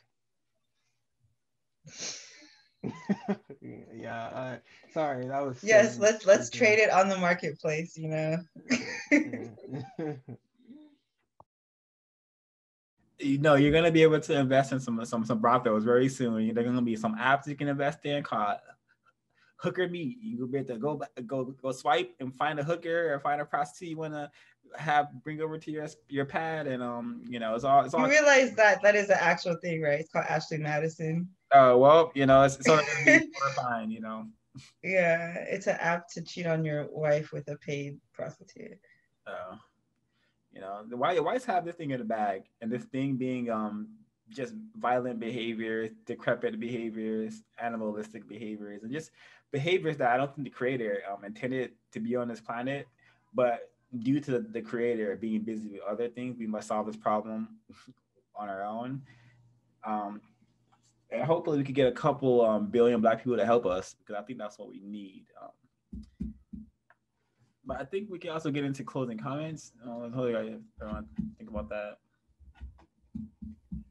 Yeah, I just wanted to make one last comment about vitamin D. Vitamin D, you know, you get that from the sun's rays. He brings it up once again. He says it was in fact in this situation of when he's talking about um, being in colder climates, the sun's rays are needed for photosynth for the photosynthesis photosynthesis of vitamin D, which allows the calcium in food to be used by the body. In low sunlight, highly melanated skin acted to prevent the body from converting vitamin D1 and vitamin D2 to active forms. Um, yeah, so I just wanted to I wanted to bring that up because uh, it, it is commonly known that black many most almost every black person is lacking vitamin D, which you know causes depression and other kinds of disorders. Um, so uh, basically, I just bring it up to say let's get some more sunlight before we turn to Europeans. Yeah, I just read that too. You have to get more sunlight than like they say you're supposed to get like like the average person is based, supposed to get like 15 minutes, but that's based on like white people and the way that they um trans like they transfer sunlight into vitamin D. So you have to like get even more as a black person because you're you're supposed to be out in the sun all most of the time. So that's like the norm. Yeah, I found that quite interesting actually and I think that is very important to state too, especially going into as we're talking about spirituality. It's important that we get energy from the sun. You know, we get some sunlight to power us. But I also think that, um, as Kwaku mentioned, it helps with a lot of things, such as like mental or um, emotional things. And oftentimes it could help with physical things. I'm not sure, like some people just be sweating in the sun I just say you losing weight, you know, but um, I think it's important that that's on the record that it's important for non-white people with melanated skin to get sunlight. Um, more than 15 minutes and make it intentional. I've tried to make it intentional. Um, Kwaku and I try to get at least a few hours of in the day of sunlight. So we essentially go outside and, and either stand out there, walk around, whatever it is um, I decided to work outside like on the garden area to like help with like getting sun. So it's just like th- different things like that to help. And I also found like meditating in the sun is also so nice. Like I don't know if it's because I'm outside or closer to the earth that it's just so nice to like meditate um, in the sun at the beach, whatever in some natural form in a hike in nature. And it just it feels that you can possibly reach something higher if you are outside. Yeah, yeah, it reminds me of the Welsing Institute. I think it was the one before last where the guy was saying, um, you know, that's where he said, you know, black people don't, are vitamin D deficient, and you know, vitamin D is what actually caused, uh, you know, white, white, uh, black people to become Caucasian, or what caused, you know, Caucasians to turn white. Um, so, yeah, I forgot where I was going with that that's what, so I bring bring it up once again. You know, get the vitamin D. Um, therefore, so we don't turn into white people. Um, I for one like to go to the like to get get a little bucket of coconut oil, lather up, and go sunbathe. Make all the white people uncomfortable. Um, at the beach, I don't do it for them. I do it for me. But the uh, from one thing that I commonly see at the at the beach though is uh black people hiding hiding away from the sun rays under their tents and whatnot, and uh, under the guise of I don't want to get darker, and while the uh, white people out there killing themselves trying to get get get that vitamin D. Um, so very important stuff.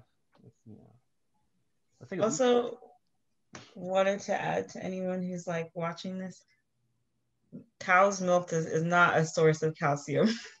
it actually depletes the calcium from your bones. So do not drink milk thinking you're getting calcium from it. If for those of us who are watching this, if you haven't stopped drinking cow's milk yet, I don't know, I don't know what to tell you. You know, I mean, for various reasons, pe- all, non-white people should have stopped stopped drinking that a while ago. You know, I mean, I'm sure there's cultures around the world where they drink cow's milk. I don't, I don't even know if that's true. I don't even know if that's what they're supposed to be doing. But you know, cut it out.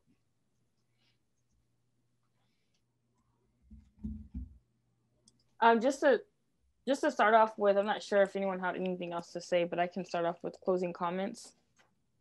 Okay, uh, just to start off with some closing comments. Um, one of the things I uh, would love to do, like especially once I log off of here a little bit later today, is like just to go through these theories again and have a moment to just like research each theory. I know I got to do that with um, with Diop. I got to go and look at articles just because I was very curious and just to see about the um, the theory, the theory in death. But I think it'd be important for me to like continue on reading um, into those theories and just see how they're um, related, similar, not similar, things I would relate with or not. Um, some of the things that I found that was quite interesting in here is how some would say like, "Hey, this is a uh, melanin problem. This is just a um, like an a grow up problem. Like this is because the due to aggressiveness is due to the way Europeans grew up. Our aggressiveness is due to the lack of melanin. The aggressiveness is due to lack of education. Whichever it is, um, or the aggressiveness is just like how they are wired. So it was very interesting to go through this and, and read through all the theories and really apply it. And although I did know a little bit about Dr. Frances Cress Welsing's theory, I still got to read it from a different lens, you know, and, and Dr. Ani um, did a great job of summarizing that theory and, and kind of can, almost comparing it to the other ones. So I thought that was um, a great thing to do um, for this few pages. And yeah, I don't know if I should popcorn or Okay, I'm just gonna go ahead and popcorn to 0526. For my closing comments, um, really, really um, appreciate it.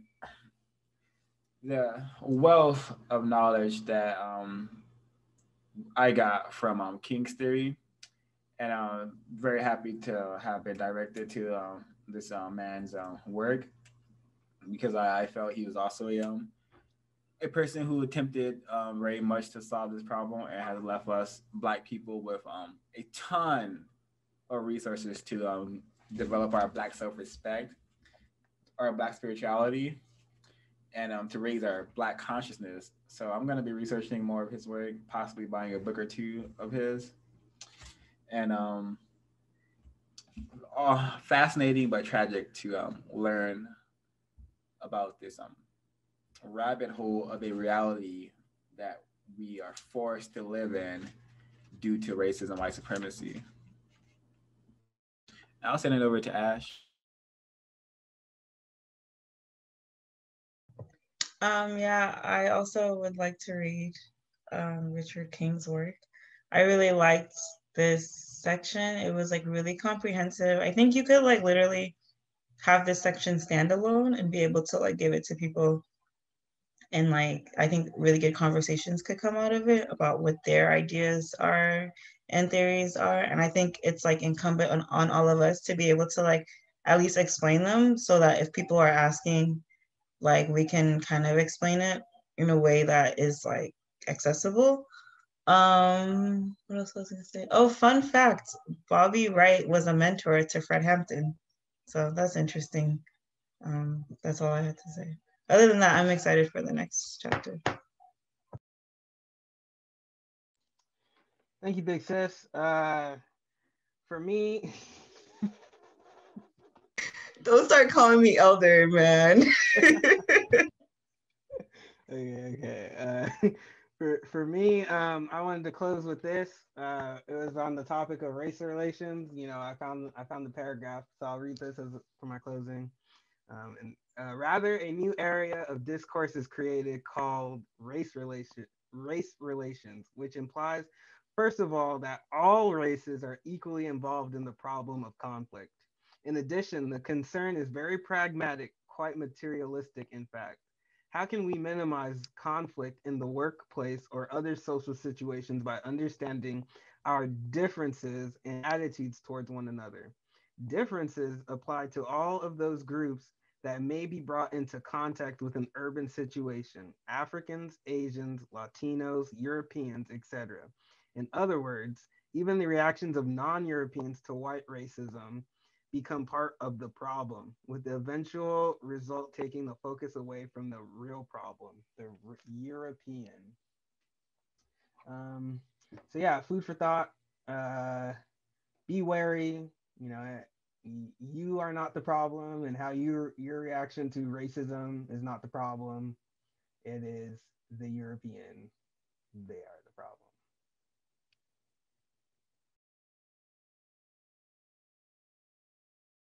Mr n uh, miss nebula you guys like to sh- give closing comments or can we close out? Okay, so my closing comments is um um, I've really enjoyed listening to this discussion. It's been highly constructive. Um, some amazing questions have been asked, and um, it's yeah, it's been very brain stimulating, and I, and I hope that um, more solutions can be like fostered from the articulations that have um, happened here today because it was highly constructive for me. I'm even going to go back and listen to it again when I actually have read um, up to the the point but I will be caught up by next week. And give me two seconds to just get uh, make sure Mr. N is ready for him.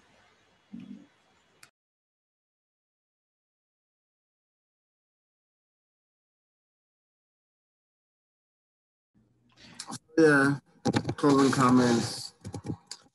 Gotta keep Europeans under the watchful eye.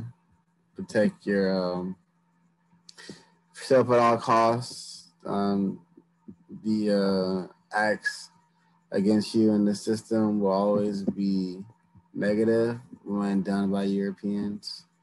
So it's best to keep educating oneself on the behavior and treatment of others in the system. Um, it's my closing comments. Alrighty.